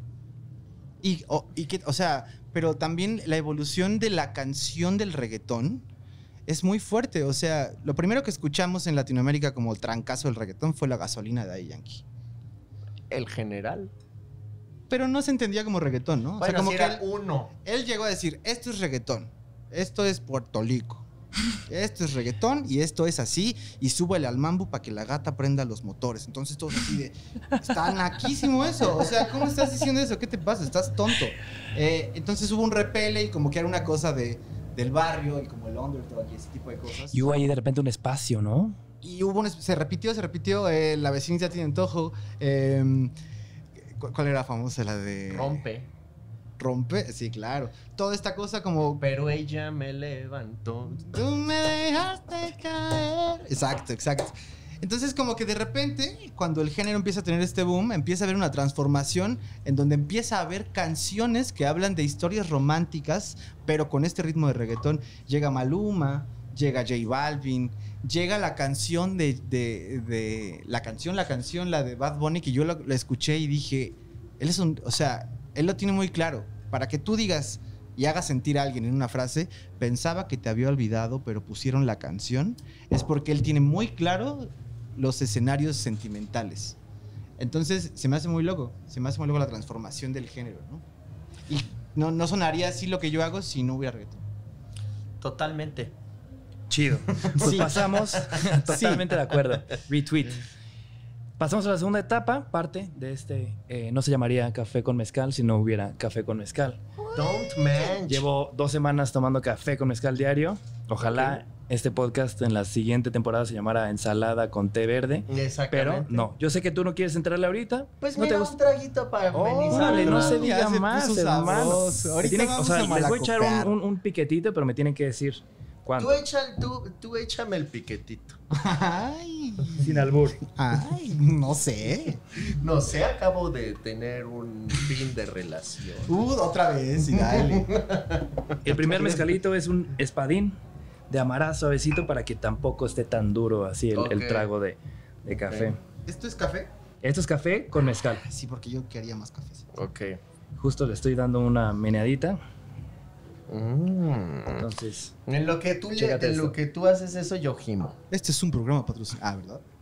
Muchas gracias. Y no está caliente, ¿verdad? ¿sí? ¿Sí Po- está ¿No caliente? tanto? Mira, aquí Ah, hay un cacahuate japonés, Ah, si quieres, monos. para el platito. Toda la experiencia. Por es con supuesto, hermano. cacahuate. ¿Podemos quitar a este niño, por favor? Por supuesto, no, se nos vaya a Yo caer. lo puse de, de espaldas. Yo quiero decir que cabe mencionar que esta combinación del café y el mezcal me gusta mucho porque tengo un tío que, en paz descanse. Ah. era adicto. mm, mm, Mm. ese no lo conoces. Era adicto a tomar café con aguardiente porque es español. Era español. Entonces, la primera vez que yo probé el alcohol en mi vida fue café con aguardiente. Entonces, como que el café con mezcal me recuerda. a Pero eso. ya has probado café con mezcal. Sí. Órale, ¿en dónde lo probaste? Porque no es algo muy común. Mm, lo probé en Cancún. De hecho. Como Una- dicen, existe el carajillo, este es el canijillo. Cancún. Saludcita, hermanitos. Qué rico estar Saludcita, echando esto con ustedes. Por, Por México. por Lila Downs. Por Lila Downs, que si no fuera por ella, Ay, qué rico. No llega. Al revés, al revés. Agárralo por la ¿Te paso curvita. un popote? Güey, esa taza yo la diseñé y no pensé en la experiencia, solo pensé en partir una taza en No, dos. pero tampoco pensaste que yo iba a tener la nariz así. ¿Qué te pareció? Precioso. Está No me mientas. Es como, como de primer mundo. No, Es que está increíble. Qué, qué, qué importante Me de siento en alguien que viene de. Berkeley. La neta es que nunca me imaginé que el sabor hubiera sido, fuera tan ligero, tan suave y tan fluido. Y que combinara, ¿no? Porque aparte, a mí, a mí me das un traguito de mezcal y empiezo a hacer así. Como Jorge Falcón. Como Jorge Falcón. Qué chido que te gustó. ¿Qué te pareció a ti, hermanito? Me encanta. También es importante tener un buen cafecito, porque si no ahí ya es doble cosa que te irrita, ¿sabes? Sí, no, ya en la noche ya no te voy a decir Me encanta nada. porque dijiste, es que tengo que contar esto, que les dije, oigan, les quiero invitar a café con mezcal. Y me dijeron, carnal, pero somos un poco ñoños y no tomamos. Sí. Y es que de repente sí el mezcal o el alcohol en general distrae un poquito, ¿no? Sí, yo puro Caribe Cooler. Sobre todo, Loko. siento que como que nos da hueva la cruda. Como de, ay, al otro día pues, no, no puedes hacer nada. Entonces es como de, "Ñe". y ya tuvimos nuestras épocas. Bueno, por lo menos yo tuve una época en la que el codo, el codo me flotaba. El codo me flotaba. Órale, gran está bueno eslogan, ese, ¿no? güey. Sí, sí, sí. El codo me Ni- flotaba. Eso lo dijo Leonel García. No, fue Bad Bunny. Ah, No, ¿neta? es cierto. no, yo... es que Leonel se la pasa diciendo, y sí, el de su levantadito de codo. ¿No te acuerdas? Ah, yo escuché eso muy niño. Ah, Em, entonces ahorita ya como que ya estoy más bien casado, ya estoy en mi casa. ¿Estás casado? Pues todavía no, Pero, pero, pero para allá vamos. comprometido. Ok, Ujú. qué chido. Felicidades, hermanito. Justo creo que de repente a mí sí me pasa que le doy un trago al tequila y me sabe a trago de secundaria, güey. Entonces me di a la tarea de que, ok, si voy a tomar mezcal, va a ser poquito y va a ser un muy buen mezcal. Si voy a tomar café, va a ser muy poquito y va a ser el mejor café. bendito. Como que ya Señor. estamos en la edad de que nos tenemos que, Claro, que checar, claro. ¿no? Y sobre todo, esta cosa como de. Parecido a lo que dice Ivy de. Híjole. Qué hueva la decadencia. La Sí, cruda es horrible, güey. La cruda y esta cosa como de. Yo soy aficionado a mi eh, estabilidad emocional. Entonces, esta cosa de estar haciendo estas cosas, que hoy está muy bien, perdón. Este, pero se empieza a volver un hábito bien feo de hacerlo todos los días y de empezar a buscar cosas por razones incorrectas y además la cruda y de que en la cruda, en la cruda hay compromiso o para quitártela lo vuelves a hacer. Entonces, mejor. Un círculo su- vicioso, muy profundo. Sí, de vez en cuando está bien eh, y se la pasa uno bien, la neta. De hecho, te dijimos que no lo íbamos a hacer y aquí estamos. Eh, qué chido. bien. Poco a No poquito. pasa nada. Eh, pero yo creo que en general es eso. Y aparte tú sí eres una persona que su estabilidad emocional depende enteramente de sus hábitos. Y si estás crudo no puedes hacer tus hábitos. Exacto. Mm, O sea, la cruda sí te da como una- un tema sentimental medio duro. No, o sea, yo nunca me pongo muy mal. Yo nunca estoy realmente mal. O sea, la última vez que me puse realmente mal, no me acuerdo de ella. Platícame si tu peor cruda. O sea, las crudas no se olvidan. Uy, la Platícame tu peor cruda. Ah, una vez con, con los rumberos. Con la- Lito. con Lito, que es amigo de Sef Chol, Sí, sí, sí, lo conozco. de los rumberos. Lito literalmente es la persona más divertida que yo conozco. Literalmente. Literalmente. O sea, es más ya divertido entendí, que tú. Ya entendí. Ivy no es tan divertido, es más como Mm. un. Es más un apapacho maternal.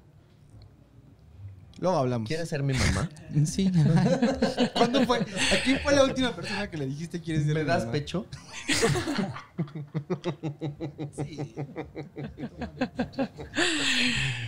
Eh, esa vez Lito nos invitó a su casa. Tiene, da la casualidad que Lito yo creo que pe- compra los peores me- mezcales del mundo. Van, dos, él, él es lo contrario de ti. Él compra los peores que se encuentra. van dos veces que vamos a su casa en Guadalajara y las dos las crudas son asquerosas. Pero gracias a Lito yo he llevado mi vida al límite y un día amanecí en el metro. ¿Cómo, Este, güey? En Boston, ¿no? En Boston, ¿Cómo, sí, sí. güey? Un día, la neta es que los rumberos en vivo son una genialidad. O sea, los Gypsy Kings, nada que ver. Entonces, este, en Boston yo los fui a ver tocar y se me hizo un ambiente tan increíble, este, con gente venezolana, colombiana, de todos lados, viendo tocar los rumberos y tocaban increíble y dije, pues hoy se toma. Y ese día se tomó, no sé qué pasó, De amanecí en el plano, metro. blackout. Ajá. O sea, solo en el metro. Amanecí en una columna así, eh, dormido, dormido así, tal cual así, con los pies estirados. Y me levanté y me fui al donde me estaba quedando y no me abrieron. Entonces me tuve que quedar a dormir en la puerta de esa casa nevando. El vato homeless. a la- Güey, qué horrible historia, güey. Y fue culpa del Lito. Pero te despertaste y seguías pedo, güey. No, solo fue una cosa. No, seguía muy cansado. Entonces, si no hubiera estado cansado, pues hubiera esperado a que me abrieran. Pero me tuve que quedar dormido en la nieve. ¿Y te despertaste con cartera y celular? Sí, allá la gente, como es un campus gigante, esta, no existe tanto esta cultura de, ay, mira, él es vulnerable, vamos No, no, a no, sí me chingarlo". refería porque a mí en la peda sí yo tengo que dejar mi cartera porque no sé por qué siempre se pierde la cartera, güey. Bueno, un día sí me pasó que se me perdió la cartera, el coche y muchas cosas. No, pues estás muy cañón. Pero a ver, te despertaste, estaba nevando, ¿no te venías como hip- hipotermia grado 1? Eh, la neta es que cuando está nevando no hace tanto frío como cuando termina de nevar. Ok. De todas maneras, yo soy un chavo que duerme con tenis, porque luego sí hace mucho frío y no me pudo no afectar. Pero me, me- me afectó más el coraje de que mi amigo no me abriera. Por supuesto. Porque tu amigo estaba peor de crudo. No, mi amigo, yo creo que mi amigo me odiaba. Y este. No era tu amigo, era tu roomie, ¿no? ¿O era tu amigo? Sí sabes de qué amigo, ¿no? ¿Cuál? Ah, Ah, ya sé cuál. No digas Sí, sí, nada. sí, sí. sí, sí, sí. Uy, delicioso. Y pues ese amigo me invitó a Boston y llegando a su casa me dijo, mira, esta es tu cama y así. Y la cama era un colchón sin sábanas, sin cobijas, sin almohada, sin nada. Y le dije, oye, ¿no tienes mínimo una almohada? No, no tengo nada. Y de repente me asomo a su cuarto y él así con dos cobijas, Un harem. almohadas, así. Lleno de... Y dinero tirado Mi por dinero y, y mi pasaporte. ¿Y tu peor cruda, mi buen Ivy? Mi peor cruda. Ya La vine igualado fue yo este hablándole a año. Ivy. Ajá. Este año fue mi peor cruda. ¿Mm? Fue Se, no. ve, se ve en tu cara que sí estuvo el, dura. el 25 de diciembre fue mi peor cruda. De tu vida entera. De mi vida entera. Ok. ¿Con- ¿Cenaste con tu mamá? Ajá. Pero es chido No tener cruda si- con papás, güey, porque de repente sientes este vacío emocional. Mamá, por favor, abrázame tantito. A mí nunca me da este vacío emocional de, de eso que dices. Nunca te ha pasado. Nunca. No, a mí sí. Sobre todo porque en alguna temporada de mi vida consumía otras, distan- otras sustancias, Distancias. otras Otras sustancias distancias. que hacen que después la cruda te dure una semana Wow. emocional. Entonces yo me quería matar una semana y el fin ya estaba bien porque volví a tragar esa cosa. Eh, pero bueno, el chiste es que en diciembre de este año yo me había quedado encerrado en un cuarto como 10 días porque salí positivo del COVID.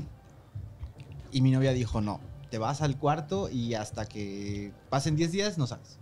Entonces yo acabo de salir de mi encierro y cenamos con mi mamá, o sea, mi, mi prometida, mi mamá y yo. Y yo me puse a tomar, normal, todo bien, todo bonito. Y cuando me di cuenta ya me había acabado una botella de whisky yo solo. ¿Era buen whisky? Eh, sí, sí, normal. Menos mal. Uno, no uno como comercial. el delito de la isla. No, para nada. Y al otro día yo sentí que me iba a morir.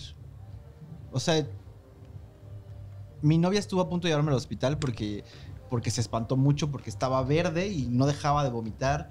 Y me sentía mal, me sentía mal, me quedé dormido, luego me desperté y volví a vomitar. O sea, una cosa horrible. Esa fue mi peor cruda. Y ahí dije, no, yo creo que ya tengo 30 años. Ahora sí. Es momento de no tomar más. Exactamente. Chido, son feas las crudas. Asqueroso. Sí, son feas.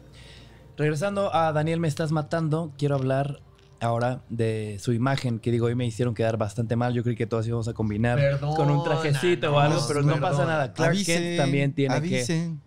Clark Kent también tiene que tener su, su estilo de civil, Exactamente, sí, casual. sí. Pero dentro de su imagen como que lo tienen muy claro. Mandaron a hacer unos trajes muy chidos para el video de, de, de De ¿Qué se siente que me gustes tanto? Eh, Siempre yo- tienen outfits muy Yo locos. sabía. Yo sabía desde antes de tener la banda. De hecho, lo intenté con las moscas bravas y simplemente nadie se dejó. Pero yo tenía este problema con. ¿Por qué en el jazz nadie se sabe vestir? ¿Por qué todos saben, usan la playera del festival anterior al que fueron de jazz? Este, entonces yo decía, Telon- Thelonious Monk en, sus, en, su, en su carta que le hacía a la gente con la que él tocaba, le decía, vístete lo mejor que puedas. Y Thelonious Monk se vestía lo mejor que pueda, anillos en cada dedo, su sombrero, traje. Todos los Marsalis son elegantes. o Ajá. sea, Entonces yo, yo sentía que tenía, un, tenía ganas de un proyecto que se uniformara y que, este, y que se viera bien. Y que era completamente congruente con mi búsqueda jazzística instrument, de, de instrumentista. Entonces, mientras yo hacía eso, empezamos a hacer la banda Ivy y yo. y yo le propuse a Ivy, yo creo que lo importante es que nos uniformemos. Y el uniforme era muy obvio porque era vernos como un trío antiguo, que eso fue evolucionando, que Ivy de repente se quiere ver como Scarface, yo de repente me quiero ver como Juanga, al principio nos queríamos ver como meseros trío, y este, y va mutando, pero sí sabemos que los dos, que nos gusta vernos iguales y que nos gusta estrenar un outfit por cada sencillo o cada videoclip. O se procura, por lo menos. Qué belleza. Y digo, hablando igual de los videoclips, ya sé, hace cuenta Scarface, y el video. Esa fue mi referencia de vestuario. Impresionante. De repente te vi en el mar, que parece como una caricatura de Cartoon Network o Ah, Daria, sí, no sí, sé. sí, sí, sí, sí. Luego quisiera, vi un video que sacaron como con el lyric video y tiene, dice, animalitos que curan la depresión. Y de repente tienen No Soy Nada, que parece como un, com- co- como un cómic anime, no sé, como Evangelion. O sea, ¿qué pedo? Como que no tienen nada que ver nada, pero ¿por, por qué? O sea, ¿por qué esta inquietud de hacer cosas tan locas, güey? Porque lo dijo Daniel al principio. Para que nosotros hagamos algo nos tiene que dar risa, emocionar. Qué chido. Entonces, cuando fue lo de no soy nada, por ejemplo, eh, pensamos como de... ¡Ay, sabroso! Cuando cierras los ojos, cuando ya pateo. Eh, cuando fue lo de No Soy Nada, nuestra referencia era entre Daft Punk, Something About Us. ¿Te acuerdas que el video era como parte Claro. de, un, de un largometraje de Daft Punk? Y Los Caballeros del Zodiaco. Ah, cabrón. Y teníamos la historia muy definida. Y el que hizo como el productor del video, por así decirlo, que es Nacho Sotelo, que es el que mezcla nuestras canciones. Él es fanático del anime y de Evangelion, así particularmente. Entonces él buscó a, una persona que estudió ese tipo de animación, que vive en Japón. Entonces lo mandamos a hacer en Japón y quedó así. Eh, lo de Te vi en el mar, pues también fue como de, ah, que sea una animación de dos niños metaleros. Pa, hagámoslo, que sea esta animación, ¿no? Y así han sido todos los videos, como de, como sentarnos a, a pensar qué nos provoca esa canción. O somos algo que, que dijimos, queremos que sea como la dama y el vagabundo, que sean perritos que se enamoran, ¿no? Ese está buenísimo, güey. Y, y se hizo igual, ¿no? Entonces, sí ha sido así como de lo que se nos ocurre. Sí, como de, acompáñame por cigarros, dijo Iván de la Rioja. Ah, sí, es cierto. Y, y en el camino, oye, ¿qué tal que este video que está pendiente lo llevamos para acá? Y él, ah, sí, sí, es una idea increíble. Déjame le digo a Inés. Y ya Inés hace un guion y nos lo presenta y nosotros, ándale, sí, es lo máximo. Y ahora, no nada más está Inés, está Cosme. Claro, Inés es con la que me voy a casar, Mm. con ella vivo. Y ella estudió eh, dirección de fotografía en el CCC. Y Cosmito también. Bueno, él estudió dirección como de actores. Eh, y ellos son el equipo con los que hacemos siempre como los videoclips. No la animación, solo los videoclips. Y así, así es siempre. Mancuerna. Les, pin- sí, les pinchamos la idea y ellos aterrizan. ¿no? Claro. Y siempre es con esta misión de si no nos divertimos, no lo vamos a hacer. Sí, casi siempre. Es más, eh, hemos hecho calzones con esta cosa como de que, ay, estaría chido, ¿no? Sí, sí, sí, hazlo. Y ya, al siguiente día ya tenemos calzones. La cosa más estúpida que hemos hecho en la vida ha sido querer dar una serenata en cualquier lugar del mundo. Eso salió muy bien. Y cuando, y cuando hicimos una dinámica, era una cara. La gente con el karaoke de qué se siente que me, que me gustes tanto podía participar en la dinámica y el que ganara en cualquier parte del mundo le íbamos a ir a dar una serenata hasta su casa. Y entonces este ganó alguien de Costa Rica y fuimos a Costa Rica a dar una serenata asquerosa, fue la peor serenata que alguien ha dado en la vida. O sea, hubiéramos preferido que fuera de esas serenatas donde el papá te, te cacha y te agarra, te persigue con la pistola. Mm, no plano. sé si yo hubiera preferido eso. Eh, No sé. Hubiera sido más emocionante. El chiste es que fue súper. Llegamos a dar la serenata y, ni. O sea, como que ni estaba emocionada, ni le había avisado a nadie, ni llegamos y fue en la banqueta, así. Y al final estuvo cool porque gracias a eso sacamos otros conciertos en Costa Rica y nos la pasamos increíble. Pero nosotros pagamos nuestro boleto para ir a dar una serenata en Costa Rica y fue una idea tonta que se nos ocurrió de hacer una dinámica. ¿Volverían a hacerlo? Sí. Sí. Sí, o sea. eh, yo creo que fue un caso muy particular porque si yo gano una. Es más, el simple hecho de ganarme un Choco Crispis ya me emocionaría. Uno. Un Un arrocito. Choco Crispy. Bien. O sea, no una caja de Choco Crispy, un, Choco Crispy. Entonces, ya con haber ganado, yo me hubiera emocionado. Ahora, si una banda, por más asquerosa que, que sea, paga un boleto para ir a tocar a mi casa, aunque sea cualquier banda que yo odie, aunque sea. ¿Quién? No voy a decir nada. Una banda que. Una ajá. banda que no me guste, pues yo diría, oye amigos, este, pues viene a tocar tal persona, me acompañan para vivir esta experiencia juntos, no sé, estaría chistoso. No sabía ni su papá, ni su hermano, ni nadie. Y al final, bueno, pues aquí en la banqueta, canten. ¿Solo ella? Ajá. Sí. Qué loco. Fue muy, muy Sí, loco. sí. Y Muy, hubiera estado incómodo. buenísimo que lo grabaran. Se grabó Y no nos lo dieron. y no nos lo quisieron dar. ¿Por? Cosas de la vida. Sería un gran video, episodio. Sí, sí, sí. Hay que preguntarle. Bueno, detrás de todo esto han hecho calzones, tienen merch bastante interesante, de repente con una botella de Tonayan, el famoso Tony Ayans, también tienen otra que hicieron de Quisiera, pero como Kiss, de Kiss la como la banda.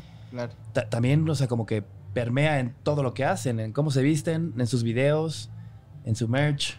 Yo ya estoy pedísimo. A ver, y le puse un traguito más, güey. No te atreves. Eh, pues tratamos de que todo tenga sentido, aunque realmente a veces no tiene sentido. Y, y es menos redondo que otros proyectos, pero le echamos ganas, básicamente. Pues por lo menos lo hacemos para pasárnosla bien. O sea, nunca pienso en qué tan redondo es comparado con alguna otra banda, pero siempre se hace con la cosa de, ay, me gusta mi banda. Quiero hacer esto. Sobre todo es una banda que se ha edificado. Vámonos. eh.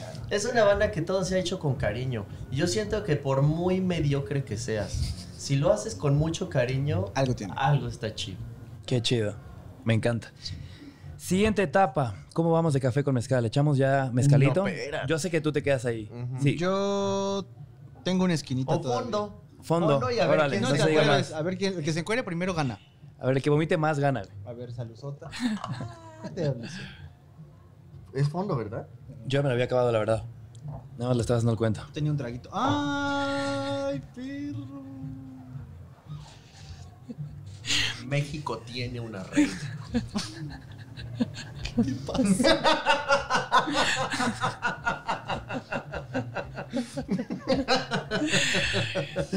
Mi hermanito, ¿me acompañas en un mezcal o no? Guadalupe. Órale. ¿Quieres mezcalito o ya hasta ahí llegamos? Porque ahí está tu, tu, tu vasito con agua si prefieres. No pasa nada. Aquí nada es... Es un país libre, no lo ¿Cuánto olviden. falta? Yo creo que ya nos estamos acercando al final. Ah. O sea, falta, ¿qué será? Una tercera parte. pues otro. Pon tú, pon tú.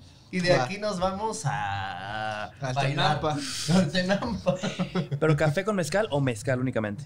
O sea, a traguitos puede ser. Café con mezcal. Órale. Porque- Pero tú sí mezcal. Tú y yo, mezcal. creo que sí. Órale. Sí, porque si ya uno anda viviendo la experiencia, hay que vivir la experiencia completa del café con el mezcal. Bendito sea Dios. ¿Has Me probado encanta. un mezcal de Sonora que se llama Bacanora? Sí, por supuesto. Es muy rico. Es Luego bueno. te voy a traer una botellita de. Me gusta que, que de repente le quita como el sabor ahumado. Digo, no tiene nada que ver con el mezcal, pero es un sabor muy particular. Sí, es, es extraño. Es como, sabe muy fuerte. Aparte tiene mucho, mucho alcohol. O sea, normalmente tiene 50%. ¿Le serviste Sí. de más? No, no, no. Me acuerdo que aquí tengo un bacanora. Ah. Y no lo, no lo he abierto, no lo he probado. ¿Le damos No cráneo o qué? ¡Baches! Órale. No lo puedo creer. Esto es improvisado. Esto yo creo que se va a llamar café con mezcal y bacanora. Entonces, ¿quieres probar bacanora o seguimos con esto? Que- Bacanorita. Órale. Ah, órale. Inés va a estar No muy feliz. Por ahí hay una botellita muy mística que no tienes idea cuánto tiempo lleva esa mera. Lleva mucho tiempo aquí. Traído desde Sonora. Ay, qué chida está. Trae un gallito feliz. Sí, justo. Como Cristian. Castro. Ah, no. no. Ah, está, es como, como, como se visten en la danza de- del venado. Como ¿no? se visten los de mi banda, el mexicano. No te creas. Como. una- Nunca lo he probado. Está muy rico. Este. Bueno, no sé si este, pero el bacano. es Esperemos que sí. O sea, místico mínimo va a estar. Mira nomás. Se avisó. Pero bueno, en esta segunda etapa, ya con mezcalito, quiero hablar de, a ver si lo digo bien, Le Soupir. Uh, Ah, uy, uy. Esa tiene una historia. No, no, no, no, no, pero del disco. De Supir significa el suspiro. El suspiro. Entonces vamos a hablar de Suspiros. Su primer disco que sacaron en el 2019. Pero me Totalmente. encanta esta idea de que existe el primer suspiro, existe el suspiro acuático, existe el suspiro colgado en la estela de tu pelo. Hay suspiros por todas partes, hermanos. Sí, sí, sí, sí. ¿De dónde viene la idea del suspiro? un suspiro de... No había, no, no había visto que también ahí hay un suspiro. Ay, no puede ser, por Dios. Estás suspiros por todas partes, hermano. Muy mal. Me estás, no me estás haciendo quedar como un visionario. Eh, suspiros. Para empezar, la palabra suspiro eh, siento que sintetiza muy bien lo que queremos del proyecto, que es como sentir esta cosa bonita de, ah, ¿no? Y la otra es que una gran referencia para el disco fue el disco Secretos de José José. Entonces, como que secretos, suspiros, como que tenía esta onda. Los La dos por- empezaban con S y tenían más o menos la misma cantidad de letras y se podía ver igual en la portada. Ajá, como que fue una referencia visual muy clara este disco de, de José José. Y nos queríamos vestir igual con trajecito y poner una cara de guapos ahí. El seguros. bebé para ti, hermano. Eh, muchas Serví gracias. poquito porque no tengo idea a dónde nos va a llevar esto. Uy, sí, Ah, o sea, o sea, Ah, lo quieres probar tú con café. O sea, tú ya estás experimentando como nunca. Este sí es así, un- no, o sea, Ah, sí está picoso. ¿qué me va a hacer sentir mejor a la larga? yo creo que solito. Ok. Eso y agua. Va, va, va. Mira, te voy a pasar aquí a... Hay muchas caritas aquí, ¿no? Muchos. Sí. Eh, sí, eso fue lo que pasó con Suspiros. Ok. Suspiros por todas partes. Ahora, este disco Ujú. que llevó una rola que habían hecho antes, que es la hicieron en el 2018, que se siente que me gustes tanto, Ujú. que es como el hitazo, ¿no? Es como la rola por la cual estamos aquí platicando, por la cual los conocí. ¿De dónde viene esta rola? Fue- o sea, a lo que voy es, es una canción que vivieron, es un momento que vivieron, es algo que, se le- que les nació a raíz de un sentimiento o fue un poquito más como por Mm, la creación de la rola. Realmente fue, como dice Ivy, es la primer canción que nos animamos incluso a, pues, a tocar, a, a documentar de algún modo.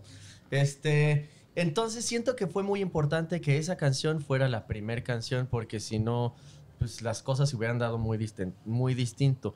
La canción, en ese momento yo tenía cierta novia que está embarazada ahorita, o saludos.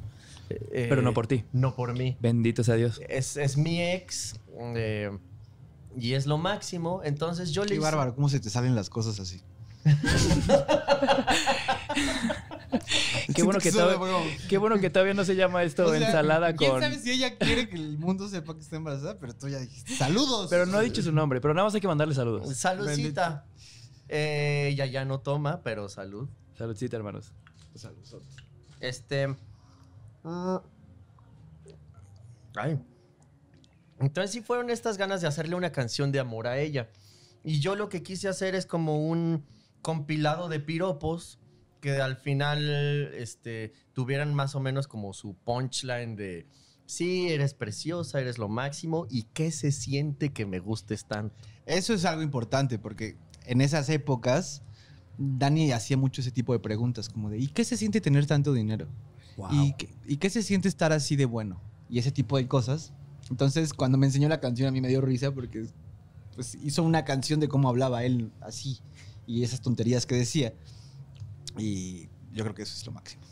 No me puedo ni imaginar cuántas veces se ha dedicado esa rola. Primero Dios, Dios te oiga. primero Dios faltan muchas. Ahora, pregunta, dentro de las reglas de dedicarle una rola a alguien, ¿se puede dedicar la misma rola a diferentes personas? La neta es que no sé, pero cuando, cuando nos preguntan por inbox qué onda con eso, yo les digo que son reciclables y que no para el flujo algorítmico de la vida. Pues es que no te conviene que no sean reciclables, papá. Digo, lo bueno es que ¿cuántas rolas tiene el disco de Suspiros? 13, ¿no? Pero 10 canciones, ¿no? No, canciones, canciones sí, pero Ok, 10. Si dedican esa, pues todavía quedan 9 más por dedicar. La neta es que eh, y ahora yo estoy hablando mucho. No, no, no, no. no. Este, Pero aquí no hay competencia. Así está el equilibrio. Ah, Exactamente. Eh, siento o sentimos que hacer canciones de amor te tiene que agarrar en un momento muy específico que tal vez es difícil de conseguir. Entonces, eh, tal vez es, es un poco difícil hacer canciones de amor, entonces las valoramos mucho las pocas que tenemos. Y este, entonces esa cosa como de, ay, al cabo tienes muchas más, pues yo no lo veo así, es así como, no, mejor echémosle ganas a estas que ya tenemos, porque para que me salga otra canción de amor, pues falta Sí, un rato. Cuestan trabajo porque es muy fácil caer en el cliché y en el ñoñismo de es que te amo. Entonces es difícil que una canción de amor nos guste realmente, es complicado. Pero es que hay canciones de amor y luego está que se siente que me gustes tanto. Hay una línea que dice, si un día tú te vas con alguien más, yo, voy, también. Uh, mi, mi compadre la Ferrator. el Toxic. De ahí salió Felices los Cuatro, ¿no? Te copiaron. Pues fue. La neta es que esa canción casi casi fue una obra de la casualidad. Porque yo empecé balbuceando, literalmente poniendo palabras juntas que sonaran bonito y después las hice tener sentido. Es, yo empecé escribiendo lo que sea. Si hoy conspiran mis suspiros y así, solo me gustaba cómo, des- cómo, cómo combinaba conspiran con suspiros. Consp. Ajá. Wow. Entonces, este, después, este, ya solo la, la hice rimar y así se fue dando todo muy de la casualidad. Y esa cosa como de si tú te vas con alguien más, ah, pues yo voy también. Fue así como, ándale, sí. Pues vamos, vamos, ¿no? Sí, ya estamos aquí. Y nada fue muy pensado como otras canciones que tal vez no salen tan bien, pero, pero fue muy, este, es más, nosotros ya íbamos a grabar, es verdad, y yo le dije a Ivy, sabes que este está más chido. Y estaba mucho más chida. A mí me gustó mucho más que se siente que me gustes tanto. Y es verdad, como que estaba padre, pero el coro no me gustaba. Sonaba mucho a pop. Y él dijo, sí, ¿sabes qué? Tienes razón, mejor vamos a hacer esta. Yo dije, ah, es genio. Míralo. Sí soy. Sí eres. Lo eres. Pregunta, ahora, ¿por qué me decías que me esta idea de que cuesta tanto trabajo hacer rolas de amor? O sea, es, es como es un tema difícil de, de producir si no lo traes o, o cómo es. A mí, en, personalmente, para yo hacer una canción de amor, tengo que acumular imágenes bonitas que me gusten y luego siempre terminas recurriendo a las mismas imágenes, entonces tienes que hacer una investigación este, más allá de lo que estás acostumbrado o sentarte más tiempo a imaginarte cosas porque siento que si, si a este tipo de canciones no les añades esta cosa como clever, puede ser muy sosa. Entonces sí me pide demasiado de mí. Hay muchas veces que yo hago la canción completamente melódica y puras cosas sosas y paso toda la semana diciendo, no, esta frase hay que cambiarla por esta. Y hay que añadir esto mismo, pero que hable de esta cosa del cielo, o esta cosa. Entonces, a Iván eso se le da muy naturalmente, pero a mí, mi trabajo mental para poder hablar de amor bonito, o por lo menos lo más que puedo, me cuesta demasiado. Qué loco, porque de repente la escribes y amarra y pega y todos la cantamos, la dedicamos, la compartimos. Qué bonita magia, Dios. ¿no? Primero Dios. Míralo, mañoso. Y por el otro lado, mi estimado, Y, ajá, con- y perdóname, No hay soy cuidado. asqueroso. Estás pedísimo, no Y- te vuelvo a traer. ¿eh? es un país libre. No, lo puedo- no lo y vuelvo a las traer. canciones de desamor siento que puede ser más franco y más directo y no sonar tan lame. Es que es lo del cliché que digo. O sea, es bien fácil caer en clichés tontos y gastados del amor. Y el desamor no. Como que inmediatamente de alguna forma alguien va a hacer clic con eso, aunque, aunque sea una frase gastada y, y- y de cliché, ¿no? Me encanta, porque justo me iba a dirigir a ese lado un poquito más sad contigo, porque lo tienes muy claro. Pues no tengo de otra. O sea, sí. ¿Te gusta mucho, prefieres crear cuando estás triste? Este año empecé a escribir canciones sin estar triste. Apenas. Este año apenas. Y apenas van tres meses. Y van tres meses. Y he hecho. Iban tres canciones, ¿no? Pon tú. Sí, como tres, cuatro.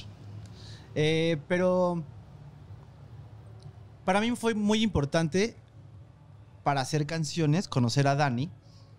Porque cuando yo le pregunté cómo le hacía él para escribir canciones, pues él es baterista, ¿no? Entonces me decía como de, mira, cuando yo escribo una canción, yo trato de pensarla a capela para que la melodía tenga fuerza y para ponerle atención a la melodía y a la letra y luego armonizamos, que es ponerle la guitarra, ¿no? Que eso es un proceso que él y yo tenemos cuando él ya decidió que quiere usar esa canción, ¿no? Por ejemplo, cuando decimos quisiera, él tenía esta idea de que fuera mariachi. No, Había, un, había algo que tenías en, mente con quisiera, ¿no? sí, sobre todo esta cosa como de que naturalmente la melodía solita sonaba muy pop.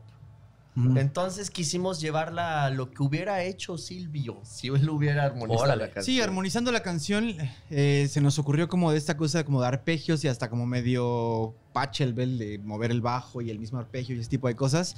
Y así llegamos a todo, ¿no? Entonces, cuando yo conozco a Dani y me, y me platica esta forma de hacer las cosas, empiezo a componer así, a capela. Y por mucho tiempo no pude componer si no estaba como genuinamente triste o genuinamente nostálgico hasta este año. Mi seño Adele. Estaría muy orgullosa de ti. Ojalá que me oiga donde estés. Te quiero. Qué loco. y ahora has escrito, ¿cómo ha sido componer un poco más, con un mood más feliz? Pues no es que esté más feliz, porque igual acabo hablando de cosas tristes, porque es, es en lo que tengo más experiencia, por así decirlo. Em, pero está chido, porque me pongo en un mood, entonces escucho música de ese mood, entonces me pongo a escribir. Y así. También a Ivy no le gustan tanto las canciones de amor. O sea, Tiene que ser como amor triste, como amor nostálgico. O sea, cuando escribí Hay Cosas, por ejemplo, que es la colaboración que, ten- ajá, que tenemos con Marco Mares, eh, yo escribí esa canción después de todo el día estar escuchando una sola canción que se llama Una palabra de Carlos Varela. ¿Pero qué canción me dijiste? Una Hay palabra. Cosas. Ah, hay cosas. Hay cosas. Fue la que escribí. Cierto. Y la canción era como. como, una palabra no dice nada y al mismo tiempo. Es una gran letra. Entonces lo estoy escuchando, escuchando, escuchando. Y es una canción muy padre porque es casi a capela. Solo en las segundas partes hay unos arpegios de guitarra, pero la canción es a capela. Entonces yo dije, ah, quiero hacer una canción de amor que sea como en esta cosa. Y salió Hay cosas que al final sí es de amor, pero se escucha como sad y está como melancólica. Entonces, esa es como mi forma de amor, ¿no? O sea, como amor medio nostálgico. Y ya. Y dentro de este proceso creativo, es que esto me encanta preguntárselo a todos los invitados porque me, me ha sorprendido. Necesitas refil, ¿verdad? No. Te veo buscando por todas partes. Más bien me confundí. Aquí tengo. es que veía una, veía otra. estoy tomando el Voy a tomar el Miguelito. gas. Dentro de este pro- proceso creativo, y le he preguntado a todos los invitados y todos han dicho que sí, ¿cargan ustedes con un diario? ¿O de, de repente en dónde Yo sí. escriben estas historias? ¿Sí? Yo tengo, y tiene que ver un poco con nuestra formación jazzística.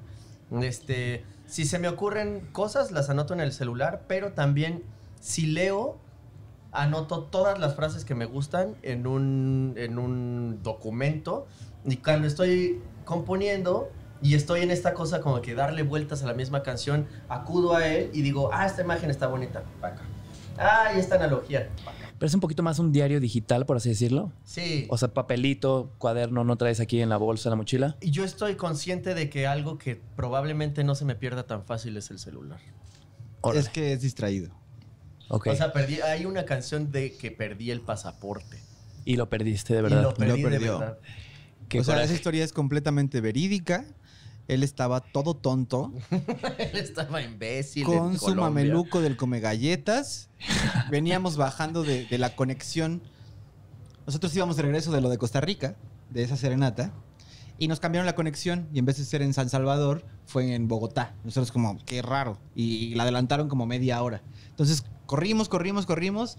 Nos bajamos del avión. Ja, ja, ja, todo salió muy bien.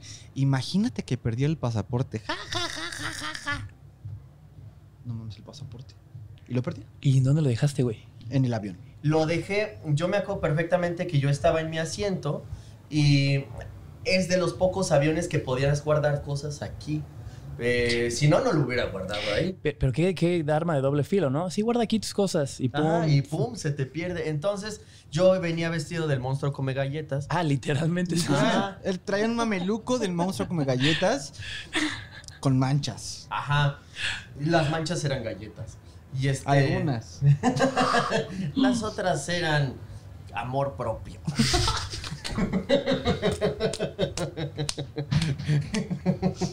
Ay, el bacanor es lo máximo. Y este, y entonces ya nos bajamos y nos encanta decir, imagínate que ahorita, no sé, todo sale mal. Y fue lo que dijo Ivy, como que imagínate que ahorita pierdo el, el pasaporte. Y él,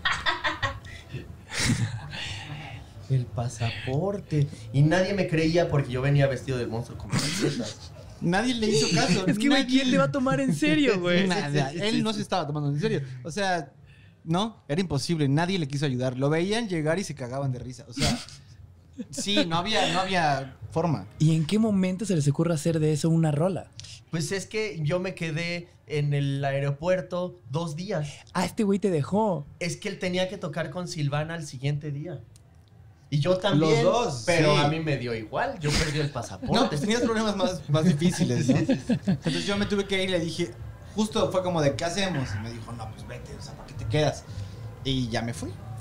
Y fui a tocar a Guadalajara con Chivis y él se quedó escribiendo su canción. Y en el aeropuerto dije, este momento se tiene que usar para algo. Y yo, y me encanta la neta la manera de escribir de Juan Luis Guerra. Y tiene muchas canciones como que cuenta lo de la el Niágara en bicicleta o cosas así. Dije, ah, bueno, pues una anécdota en canción, pues ahí va. La historia del taxi. Este, De Arjona, así. ¿no? Ajá. Cosas así yo pensé en esas canciones. O Mecano tiene muchas, o sea, la Cruz Chico de de la Navajas. luna. Sí, como historias Ajá. completas, ¿no? Una historia con un corito amoroso. Y ya, y la, hicim- la hice, se la enseñé a Ivy y dijo, órale, va. Y se sacó. Órale. Y dentro de esta misma pregunta, ¿tú cargas con un diario o algo? Yo uso más notas de voz. Notas de voz. O sea, si se me ocurre algo, grabo la nota de voz y a veces puedo como trabajarla con varias notas de voz. O a veces solo la dejo ahí y luego la vuelvo a escuchar y es como, ah, eso estaba cool. ¿Pero a quién se la mandas? A mi celular. O sea, en las notas de voz del celular. Ah, ok. Órale. Pero nada de escribir, nada de... Últimamente. Mix. Es que no se te juntan demasiado notas de voz que... de- Las voy borrando porque luego sí lo tengo una libretita amarilla con una estampa del caloncho. Saludos dice- al buen Caloncho. Amanecí, saludos a ese chavo. Caloncho es precioso. Él es de las personas más adorables que yo he Es conocido. chido. Estuvo aquí también. Tú Ay. se gozó también. Bendito sea el Señor. ¿Cuál estuvo mejor? ¿Quién está más guapo? Eh, tengo mi, mi libretita amarilla con mi estampa que dice Amanecí para disfrutar o algo así. Sí, dice así. Y cuando las ideas me gustan, las paso a mi libreta. Y ahí me gusta aterrizar las canciones ahí porque puedo tachonear, cosa que no puedo hacer en la nota. O, sí, nota de escrita o nota Claro. de voz, ¿no? Entonces ya lo paso ahí y a mí me gusta mucho la rima y ponerle atención a la métrica de las canciones. Y me he acostumbrado a hacer ese ejercicio porque me es más fácil tallerear una canción que no es mía. Entonces, ya que lo paso ahí, como que me es más visual. Y es Claro, la rima la ves en las palabras en lugar de escucharla, ¿no? Hasta el tamaño de las oraciones, o sea, como que se ve más bonito. Wow. Cabe mencionar que así como yo te dije que me tardo una semana y media en hacer una canción en lo que no, esto no me gusta, va a empezar otra vez de cero y así.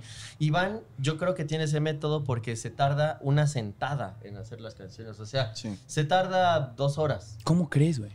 Entonces él depende como, no, no sé si dependa, pero él es, me siento como para hacer una canción, voy a hacer una canción. Y a mí me pasa como, me siento como para hacer una canción, voy a hacer el verso. Claro. Sí, yo, yo no me puedo tardar un día en hacer una canción. ¿Cómo O sea, crees? yo me tengo que sentar, escribo el- la canción completa y después ya me- Arreglitos. me echo mi cigarrito y la, la leo y es como, ah, esta frase no me gusta, se la mando a Dani, oye, ¿cómo ves esto? Ah, me gusta la parte tal, pero esta está rara. Ah, bueno, ¿te gusta más esto? No, pues sí, y ya sí. ¿Y cómo es ese proceso? O sea, justo platicaba con Richo Farrell de eso, que de repente sí es como si te metieras en un lugar, güey, y se te olvida que eres un ser humano, se te olvida que tienes hambre, que tienes sed, que tienes que ir al baño y sacas así el trabajo porque es como un flow muy duro. Pues es más que nada, casi siempre que escribo una canción, estuve escuchando otras que me generaron otras canciones. O sea, generalmente, ya dije general como cuatro veces, pero yo pongo una canción y tengo mucho este ejercicio de, pensar en, en cuál me recuerda esa canción y cosas así todo el tiempo, ¿no? Entonces, para cuando yo ya me senté a escribir la canción, ya escuché 20 canciones que me pusieron en un mood. Entonces, pues ya. Eso es en el caso ahorita que hago esto. Cuando escribo que porque sí estoy triste y nostálgico es porque literalmente escribo lo que quiero decir. O sea, una vez tuve, eh, eh, mi novia y yo cortamos porque yo la cagué eh, y me sentí muy mal y me senté a escribir y escribí No Soy Nada. Y así fue. Y así se quedó. O sea, de hecho le quitamos un verso, ¿no? Como Sí. salió, casi casi se imprimió. Ajá. Acomodamos un par de cosas al final, Dani. Y, pero la canción así la escribí toda y se la mandé. Se la canté como pude porque yo estaba llorando, llevaba todo el día llorando. La nota de voz original es lo más. La nota de voz es miserablísima Wow, y me por favor, ¿la tienes y- todavía o la Está borraste? así como. La tengo por aquí. Güey, luego mándamela, por la favor. Qué belleza. Y ahora sé. Porque aparte invertimos los, las frases para que primero diga la imagen de, de estaba llorando sin poder ver tu cara. Porque aparte yo tenía mucho tiempo sin tener una relación como formal. Y con mi novia, la verdad es que desde que empezamos a ser novios, casi que empezamos a vivir juntos. O sea, fue una cosa muy inmediata y así. Entonces yo sentía que mi vida había mejorado mucho y yo me había estabilizado mucho solamente por estar con ella. Y yo sentía que le hacía mucho bien. Entonces cuando me di cuenta que la estaba regando, fue una cosa como de... Fue muy fuerte entender que no le estaba haciendo tan bien como yo pensaba, ¿no? Y de ahí salió la canción. Me encanta. Me gusta esta idea de que también cuando te sientas ya con tanta claridad, con tanta referencia, cuando ya sabes lo que tienes, lo sacas, ¿no? Porque normalmente a veces nos sentamos a chambear y que es que chambeas todo el día Claro. y de repente no sale nada, pero por el otro lado, ¿cómo es tu proceso para escribir una rola? O sea, es un poquito más extenso. Es mucho más extenso y sobre todo a mí me enfetichan las melodías. Sí. Entonces, este, yo empiezo con una melodía que me haga sentir algo, que me... Y algo que no esté acostumbrado en las otras canciones, o sea, que no repita tanto. Yo sé que mis canciones se parecen mucho entre ellas, pero según yo no. No tanto. Este, pero sí digo, casi todas es como que, ah, ya puedo escribir una nueva canción porque tengo una nueva melodía. Me encanta. También tú tienes un elemento que yo no tengo, que es el chisme. Eh, nuestra actividad, la, la actividad de la banda que ocupa más tiempo en nuestras vidas es el chisme. Nos gustan las historias, nos gustan los chismes, nos gusta enterarnos de cosas de alguien más y qué tal dejó a tal por tal y ese tipo de cosas. ¿Y del chisme crean? del chisme, él crea cosas del chisme. Tiene una canción que escribió cuando yo le conté que terminé con mi novia, con la que regresé después. Tiene una canción de un chisme de unos amigos que intentaron tener una relación abierta. Tiene, tiene varios chismes en sus canciones, en Qué belleza. Y yo no, yo no lo he intentado, pero a él le sale muy bien escribir chismes. Escribir chismes y de repente también hay como un toque así medio rencoroso, ¿no? También yo me doy cuenta, como decía Ivy, que dependo completamente de mi paz mental y de mi, de mi rutina. Para yo poder ser productivo me tengo que sentir bien. Entonces, o hablo de cosas que, que, que sentía cuando no me sentía bien, o me robo las historias de la gente. Y se pone en el lugar, o sea, es como una cosa de empatía, ¿no? Por ejemplo, quisiera está escrita desde el lugar de este chavo, Sí. de que la relación estaba como manipulada para que ella pudiera hacer cosas, entonces él se quedó así como de, no, más bien me querías engañar, ¿no? Eh, y así. Qué loco. Y digo, Y, y- y esa, esa salió rápido porque ni siquiera, ni siquiera pensé en que me gustara, solo redacté el chisme. Pero, este, luego sí soy un aferrado con que estéticamente queden como me gusta y le mando a Iván un verso, no, no me gusta, bueno, pero yo estoy seguro que la melodía sí me gusta. Le mando otro, ándale, esta sí me gusta, oye, ¿y cómo voy? Y así. Y por lo general me voy a un centro comercial a dar vueltas. Y, y se me ocurren cosas en esta cosa. Yo siento que el mood donde más fluye la creatividad es la relajación. Entonces me voy a lugares donde esté muy relajado y esos Cabe son los mencionar- centros comerciales. Cabe mencionar que a él le relajan los malls, no entiendo por qué. qué Pero- loco que los centros comerciales son parte de tu proceso creativo. Sí, yo creo que hay tanta gente. Estás bien raro. Güey, no, pero, o sea, Richo Farrell me dice lo mismo, güey. A él le gusta salir a caminar y sentarse a ver gente y de ahí se le ocurren, o sea, Cosas. ideas para su stand-up muy cañón. Pero te sientas de que en una banquita a ver gente. Me, sien- me gusta ir a un lugar donde haya tanta gente que yo no significo nada. Ay, budista me salió aparte. ¿Cómo lo Esa ves? podría ser otra rola, ¿no? Y entonces, este, me gusta, me siento en un lugar íntimo. Aunque esté lleno de gente en los centros comerciales, me siento muy íntimo. Huele a galletitas. Si me aburro, voy a Game Planet. Este, voy a Mix Up. a- veo discos que ninguno me voy a comprar, pero es un proceso meditativo donde sigo pensando en la misma cosa. Es una actividad muy infantil también. O sea, sí. Es, eh, sí, como que es esa tranquilidad de aquí estoy distraído y tengo mucho que ver, ¿no? O sea, a mí me gustan los malls también. Pero no. Pero también este tema como infantil es chido porque cuando te dicen pareces niño es de que ten- tienes una sensibilidad muy grande, ¿no? Y de repente es Sí, no, esta no lo digo manera. en un concepto negativo. Por ¿no? supuesto, por Sí, supuesto. Totalmente. Y, y muchas veces ya está armada la canción. ¡Wow! Es una obra maestra de la humanidad. Según sí. Y eh, así terminas con ese mood como de que esto está increíble. Y pues este, le sigues dando vueltas y no se siente nada. O sea, lees las frases y dices, sí, está muy bonita, pero no significa nada. Entonces pasas por el proceso como que hay que coloquializar esta situación o hay que hacerla que tenga más ritmo. Este, le agrego dos veces esta palabra para que se sienta un pedo percutivo chido. Este, no sé, yo paso por todos esos procesos hasta que digo, ándale, esta canción ya me gusta. Órale. A ver. Y retomando la palabra que no pude desarrollar hace rato, que es muy dura, que es el ser, ren- o sea, este, el rencor, el ser rencoroso. Quisiera que la vida te pusiera en mi lugar y así también poderte lastimar. Esto es porque Oílo. Oílo. Güey, la verdad es que yo creo que la canción, sobre todo mexicana, es una actitud. Más que una estética de. Más que una estética de, de armónica o melódica o rítmica, yo siento que las canciones mexicanas que me gustan tienen esta actitud como de te quedó grande la yegua. Lo que pasa es que es una cosa cultural, o sea, desde las novelas, ¿no? O sea, el crimen pasional es el crimen por excelencia de, de- de Latinoamérica, pensaría yo. Y las novelas son de eso. La venganza del amor es, es fuerte, ¿no? Y entonces yo empecé a hacer este tipo de canciones porque me empezó a hacer sentir muy chido esta cosa como dolida, donde había frases fuertes de, De ardido, rencor, ¿no? de, De ardido. ardido. Pues de ahí va José Alfredo un poco, aunque ya es José- el lenguaje de José Alfredo ya no lo podamos usar. Está esta actitud que es muy fuerte y persevera. Sí, no es que no lo podamos usar, es que está de la chingada. O sea, Sí, no, o sea pero- el contexto es completamente misógino y ofensivo, entonces o sea, Sí, pero ya, hay- no, ya no se puede usar, ¿no? Pero hay una actitud de ardido, o sea, Sí, sí, sí. ni siquiera, o sea, tú estás hablando, por ejemplo, de, de la media vuelta o de, Claro, o claro, de, claro. o de te solté la rienda, pero el rey tiene la misma actitud. Sí, es este estereotipo de, Estoy orgulloso, jodido. de orgulloso, ¿no? Estoy jodido, pero sé que tendrás que llorar. Y eso está hermoso. Me qué belleza. Acercándonos al final, les tengo dos preguntas más, igual de suspiros. Hay una rola, me parece que es la primera, el primer suspiro, que tiene unos sampleos, no sé si son sampleos o cómo se puede decir, pero de repente hay como una voz atrás, una viejita que dice, te admiro, me caes bien.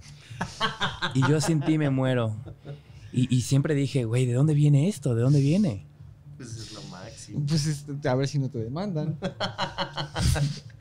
Eh, que sea un secreto. Ok, Que no se diga más. Sí. Pasamos a la segunda pregunta. Ahorita que se apaguen Que dejemos de grabar, me cuentan. Sí, sí, Va. Ahora, Es tienen... Peña Nieto. Sería lo máximo.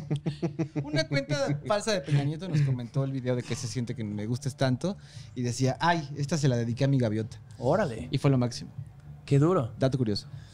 Em, por último, tienen un estilo muy figurativo dentro de las letras, como que de repente se van a frases como, como un cometa que iba hacia el suelo, o llegaste como el sol robándome la sombra de forma gradual, como que siempre, o esta que me encanta, me hacías temblar como la luna sobre el agua. Pues, como que de repente te puedes imaginar tan fácilmente lo que están cantando. ¿De dónde viene esta idea? ese viene- es literal. sí. Perdóname, yo No, no, arruiné no. todo.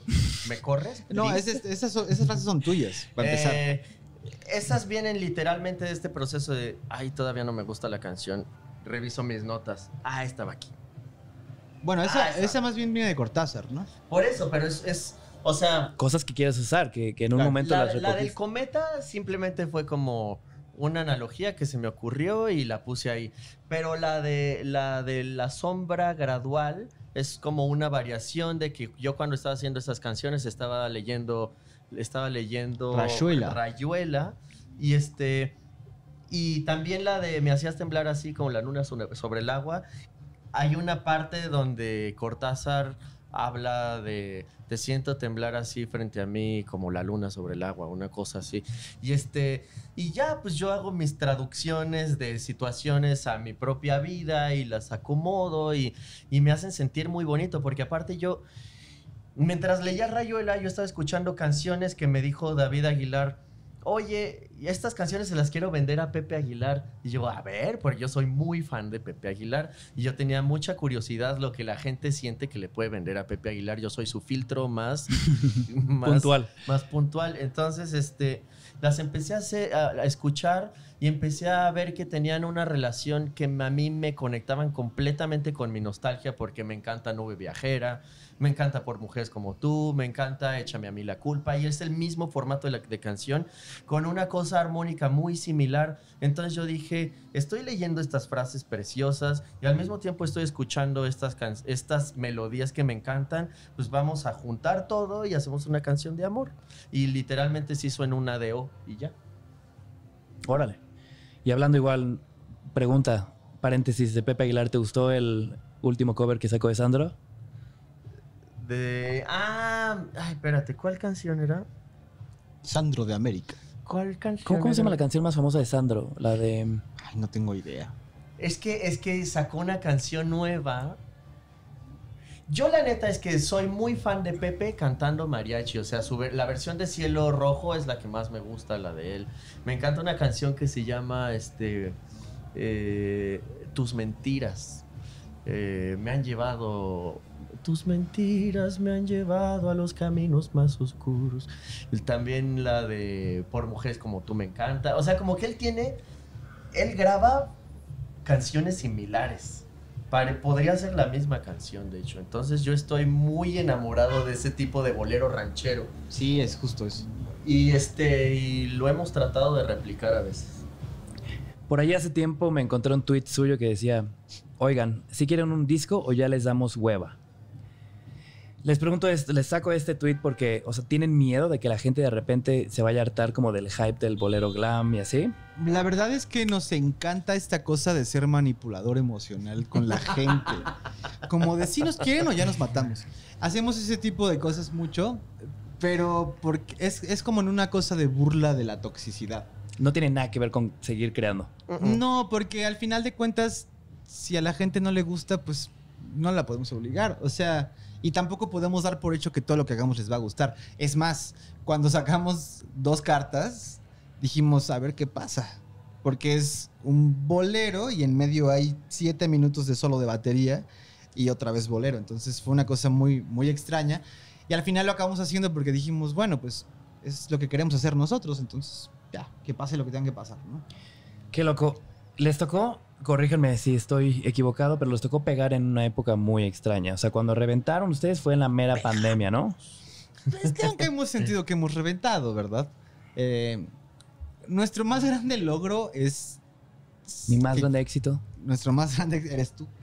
nuestro más grande logro, creo, que hablo por los dos, es tener una banda de la que podamos vivir y ser independientes. Eh, y que sea una banda de música que nos gusta y de, de canciones que queremos hacer y con el concepto que nos gusta, ¿no? Entonces, como que nunca hemos estado tan preocupados como de pegar o no pegar, sino de seguir haciendo cosas. ¿no? Claro, pero jaló en la cuarentena. Mm, ¿Podrían decirlo así? nos escribieron mucho de ustedes son mi cuarentena o cosas así, pero nosotros sentimos que ni creció tanto en la cuarentena, ¿no? Siento que sí, ya viendo los números sí, pero no nos dimos cuenta. O sea, como que ya veníamos tocando y yendo a lugares a tocar y la gente le gustaba. Entonces, como que nosotros ya nos sentíamos como en confianza, como de, ah, pues están caminando las cosas, ¿no? Todo bien. Pero nunca hemos sentido como de, no, ahora sí, ya somos una banda consagrada. O sea, Entonces, ¿ya tocaron mucho como Daniel me estás matando o no tanto? Pues, pues los tres años. Sí, O sea, ahorita siguen tocando y así. No, pues no, es pues que la ahorita, pandemia. ahorita no se puede. Pero desde que sacamos que se siente que me gustes tanto, empezamos a hacer este ejercicio de vamos a tal lugar y a ver qué lugar hay para tocar. O sea, como hasta medio Improv. baja, o sea, como de, ah, queremos ir a tal. Ah, pues hay que investigar qué lugares hay. Hablamos con el lugar y ¿podemos tocar? Sí, quédense los boletos. Entonces íbamos y vendíamos boletos, ¿no? Y así, así hemos estado. De hecho, nuestras primeras tocadas fueron en lugares de jazz. Porque nosotros ya teníamos la experiencia de tocar jazz, entonces los dueños de los lugares ya nos conocían y ándale, toca tus boleritos. En Casa aquí". Franca. Y cuando tocaban los boleros, ¿qué, ¿cómo era, era la respuesta de la gente? Pues Se ríe Iván. Es que me acordé de la primera vez que tocamos en Casa Franca, que fue tu hermana y le dedicaste que se siente que me gustes tanto. Y toda la gente estaba fue lo máximo. Estaba tu abuela, de hecho. sí, ha pasado por varios formatos y pues siempre se ha tocado donde se puede. Y ahorita no se puede. Pero Hay que esperar. definitivamente el mundo cambió y tal vez la música de baile tiene cierto cierta transformación y la música de gente que está en su casa pues termina siendo como la música suavecita que hacemos nosotros. Claro. Tal vez por eso se sintió como esta cosa de De conexión en, la, en, el, en el espacio contemplativo de la gente. contemplativo. Tal cual. Ahora, nos acercamos al final, mis estimados. Les tengo preguntas bien extrañas. Pero qué música, digo, no tan extrañas, pero también que me interesa mucho saber. Hablando ustedes, siendo músicos, ¿qué música están escuchando ustedes ahorita? Pero por gusto, no por referencia. O sea, ¿qué escuchan? ¿Vas o voy? Vas. Voy. la neta es que yo últimamente he estado escuchando una niña que se llama Rita Payés. Y ella me encanta su voz. Tiene dos canciones que me gustan, pero las oigo todo el día. Este. He estado escuchando muchos tríos de boleros. Poquitito. Órale. Es que además este es un tobalá. O sea, Ah. ya sacamos los silvestres. Ay, remojadito de. Roma- remojadito. Un tantito, así, un traguito Ándale. nomás. Suavecitos. Tú estás bien ahorita, Yo ¿verdad? estoy bien. Sí, he estado escuchando muchos tríos. eh, pues porque me gusta sentir así como bonito, nostálgico. Eh, he regresado a escuchar mucho jazz, o sea, he puesto mucho a Miles, a Thelonious Monk, lo nuevo que ha sacado Antonio Sánchez o cosas por ahí. Y me gustan propuestas de producción interesantes que de repente digo, ay, esto está chido.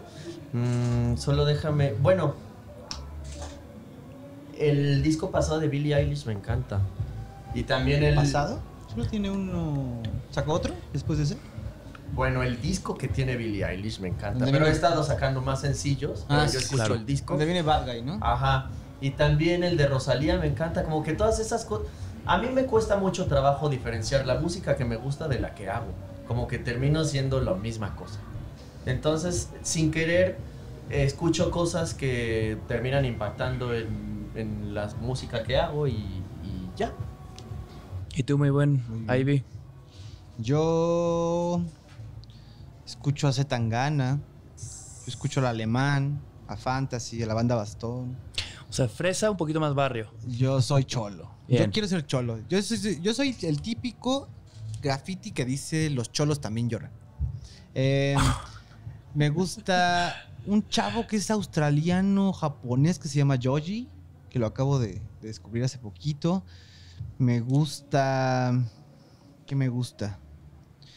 He estado escuchando mucho Charles Mingus después de ese día que nos quedamos con esa duda de Morning. Eh, en general, muchos, o sea, como en los días, que, Mm. depende del día que, que- que me levante. Ángel. ¿cómo se Ángel? Canales. Ángel Es Canales. lo máximo.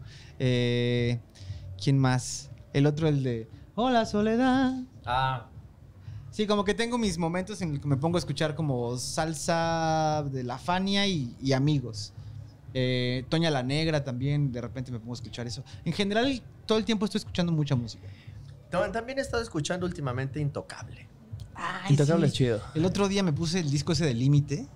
Ah, ajá, ajá. Brutal. Bronco también me gusta un montón últimamente. Wow, qué referencias tan diferentes, ¿no? Sí. Cuando encuentran una rola que les gusta mucho, pero mucho, así que dices, güey, ¿qué es esta locura? Tipo un que se siente que me gustes tanto. A mí me pasó que me ponía la piel chinita, así tal cual, y dije, no la quiero agotar. Entonces la guardaba así en el refri de las rolas, ¿no? Porque a mí, si escuchas una rola muchas veces, ya no vas a sentir lo mismo que sentías al principio. Entonces, para mí sí es muy valioso no abusar de las Como canciones. las tachas. Yo soy, al- yo soy justo al revés.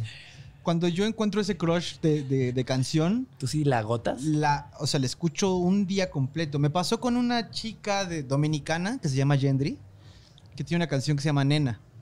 Escuché esa canción dos días enteros en loop. En loop, en loop, en loop. Porque como que yo siento que me da un placer especial poderme imaginar la canción y sentir que la estoy escuchando. O sea, como que me la tengo que aprender realmente. Entonces, la- cuando la pongo me emociona un montón porque ya me la sé. Entonces es como una cosa así. ¿Y tú? ¿La agotas o la cuidas? La goto. ¿Sí? Tengo igual que Ivy muchas canciones que he escuchado demasiado y casi todas tienen que ver con que la melodía me hace muy feliz. Es que siento que estamos como acostumbrados al análisis de las canciones. Por ¿no? supuesto. Sí, ustedes lo escuchan de una manera muy No sé. diferente. Yo, cuando estoy en esta cosa de gozar la canción, la neta es que, por ejemplo, 20 millas de Flans la he escuchado demasiadas veces. Qué buena rola. 20 millas de flans. Ajá. Pero por otro lado, pues tengo Seven Days de Sting, que la he escuchado demasiadas veces. Claro. O este. Y todos tienen que ver con que la melodía me encanta. Sea del género que sea. Por ejemplo, me encanta el precoro de la bilirrubina. Y a veces solo pongo la canción porque me gusta el precoro de esa canción y la vuelvo a poner para volver a pasar por la misma parte. Y Sí, sí pasa, sí pasa. eh, casi todas las canciones empiezan en el cuarto grado. Eso sí me he dado cuenta que me encanta esa progresión de cuarto, quinto, sexto. Sí, hay progresiones que te, que te hacen clic, ¿no? Ujú. O sea, por ejemplo, Something About Us, Ándale. Uf. que es esta progresión muy específica, que tienen varias canciones que tienen el mismo mood, es muy loca. O sea, la misma progresión de acordes que Location de Khalid, la misma que Just the Two of Us de Bill Withers, la misma que Buenos Aires de Nati Peluso. Entonces, como que hay progresiones armónicas, hablando específicamente como de la música, que ya tienen un mood así que no, no se pueden quitar, ¿no? Disculpen mi ignorancia, pero ¿a qué se refieren con estas progresiones? Los acordes de la canción. ¿Son los mismos entre rolas tan diferentes? Sí. Sí. Wow. O sea, tú podrías cantar con, la- con lo mismo de el intro de Something About Us, todas esas canciones y quedaría. ¿Qué? Wow. ¿Qué es una fórmula? Son progresiones de acordes. Las progresiones de acordes son como el campo armónico donde se desarrolla tu melodía. Entonces, pues en, en un- en una escala tienes 12 opciones de acordes. Entonces, indiscutiblemente desde los Beatles hasta hoy, las progresiones armónicas se repiten. Y no pasa nada. O sea, no es, no es como un plagio ni nada No, por supuesto. sino más bien es depende del arreglo, depende del tipo de melodía, depende de un montón de cosas, pero ha- hay progresiones que son bien fuertes, ¿no? Por ejemplo, esta progresión de Creep de Radiohead, Ah, sí. que, que luego esta chava, ¿cómo se llama?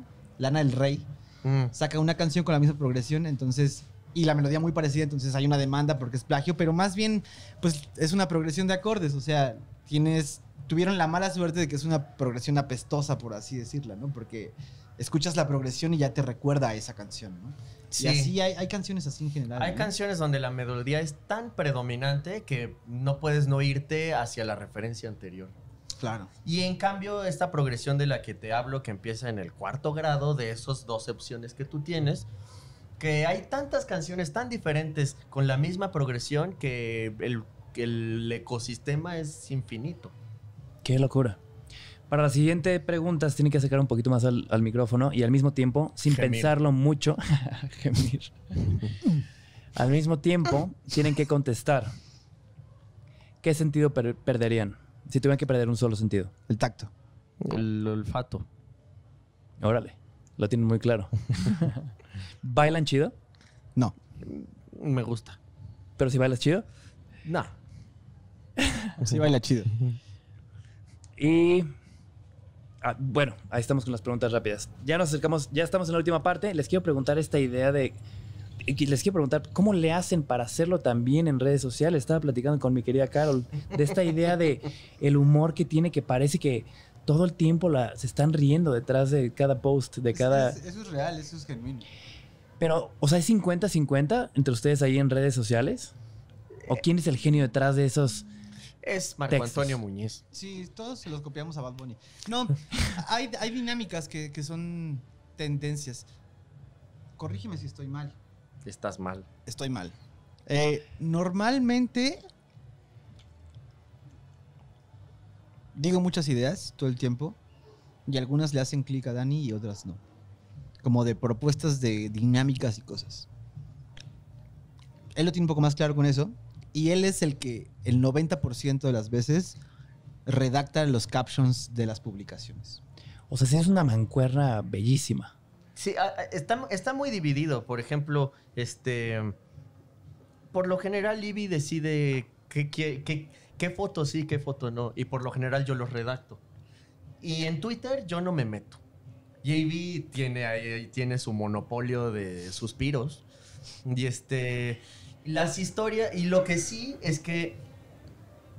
Iván en Instagram interactúa menos, pero cuando interactúa es muy fuerte.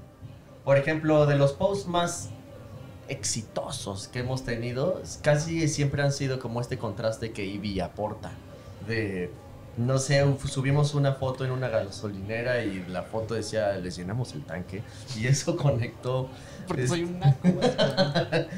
eh, entonces, pues sí, eh, hay un balance de que Twitter, Facebook los dos, Instagram un poco más yo, este...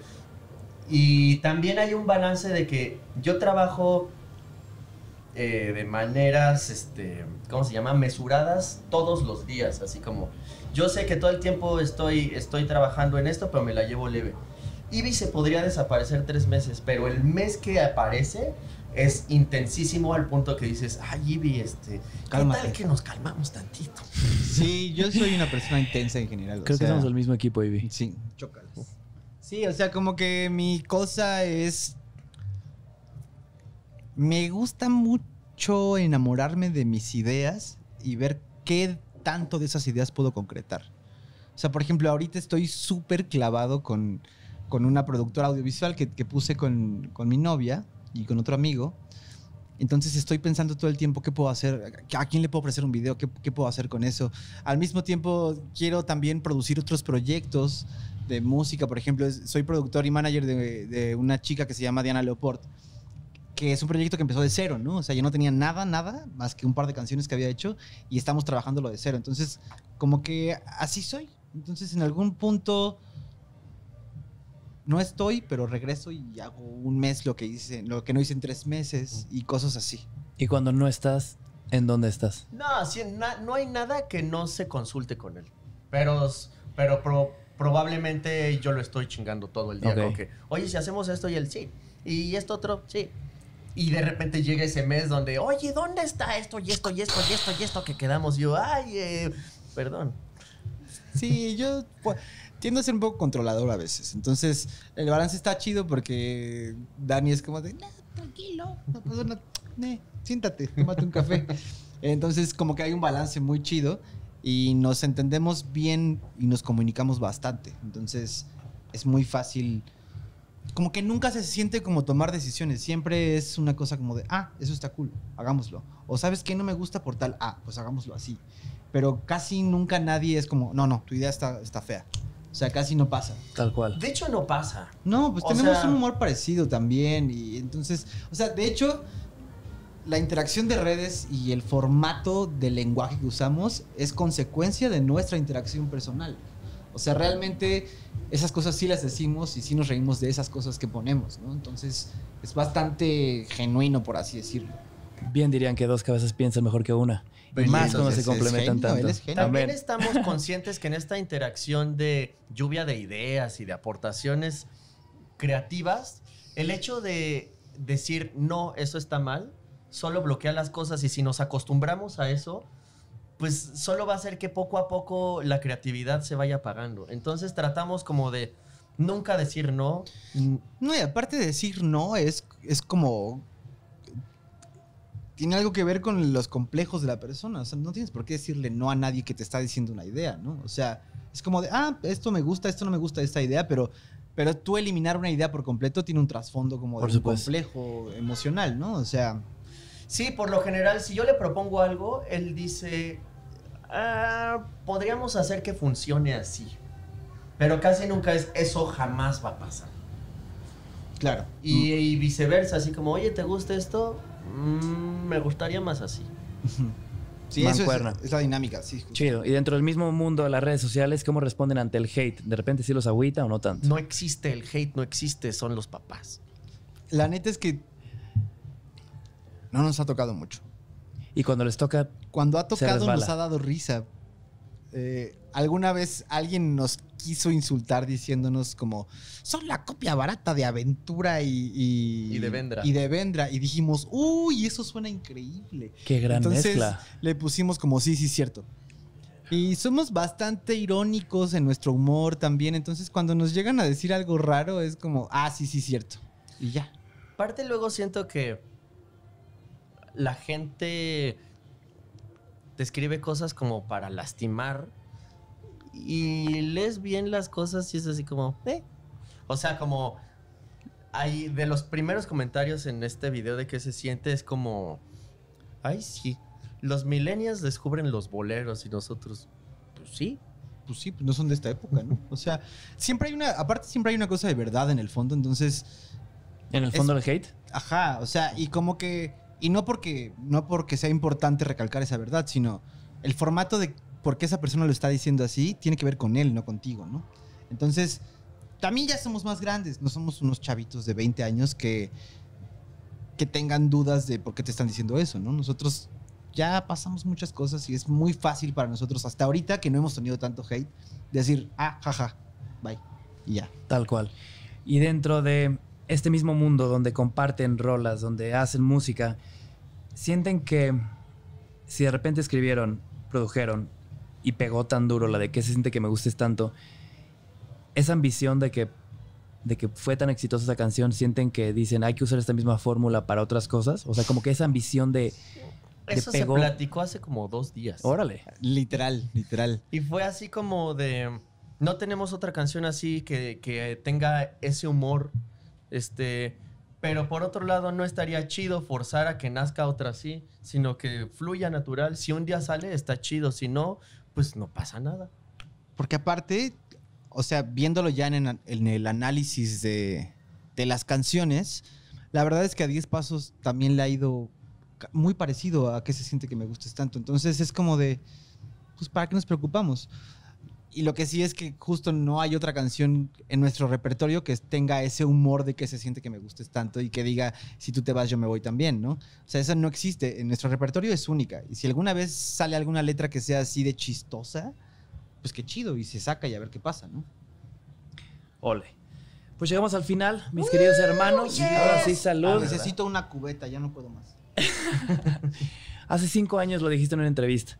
Yo solo quiero hacer música y experimentar y no tener, por así decirlo, un solo tema de conversación. Ahora tienes que la cumbia, que el electrocumbia, que el tienen el bolero, tienen tantas cosas tan chidas. Y digo, esto no es una pregunta ni mucho menos, pero es gracias por la música que hacen, gracias la neta por que Salud por ti. Gracias por la invitación. Gracias Tu cuerpo que nos expones en las redes sociales. Deja tú el de su hermano. el de mi Ah, hermano. sí, es cierto. Pero antes, para terminar, dos cosas. La primera, ¿se pueden rifar, por favor, tantito un qué se siente que me gustes tanto? Solo ese verso. A ver, pero cántate un ratito. Échate un cachito del precoro. Y si te doy mi vida y no es de tu medida, amor, verás que el mejor sastre es hacer un desastre con mi corazón. Que se siente que me gustes tanto amor que debo de aceptar que tengo miedo de tu encanto.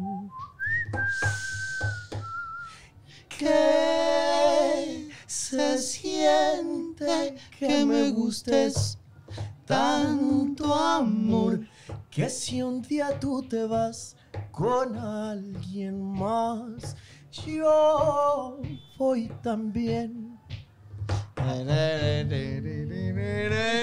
Güey, aguja escarlata. güey. Bendito. Muchas gracias, hermanitos. Algo con lo que quisieran cerrar. Sé que es una pregunta bastante ambigua, pero ¿qué les gustaría cerrar a la gente que nos está si escuchando? el norte fuera el sur, sería la misma tontería. Apoyen a la música independiente, por favor. es muy importante el contraste sónico que hace la música independiente con la música de las disqueras. A veces. Entonces, es importante. Ah, es importante, sí. Es importante, ¿no? No es que siempre pase, pero eh, si usted le gusta una banda independiente, apóyela. Y si no, pues no pasa nada. Padrísimo. Salud. Hermanos, ¿dónde podemos encontrarlos? En todas partes. Yo sé YouTube, Cuéntale, Facebook, Twitter. cuéntale, tú cuéntale. Arroba Daniel me estás matando. En Twitter que es DM. Estás matando. Eh, DM Estás matando. Eh, en todas las plataformas de música es Daniel Me Estás Matando. En Facebook es Daniel Me Estás Matando. Y mi teléfono es. eh, Ligue y ligue. ligue y ligue. Ya, aprovechen. ligue y ligue lo ponen en su celular y es mi teléfono. Muchísimas gracias, hermanos, y muchísimas gracias a todos los que nos escucharon. Mil gracias por la invitación, estás precioso, gracias por existir, gracias por tu outfit. Por su Arru- carrito, por- arrugadito como me dejaste el corazón al conocer. Nos vemos a la próxima en Café con Mezcal. Chao. Bye.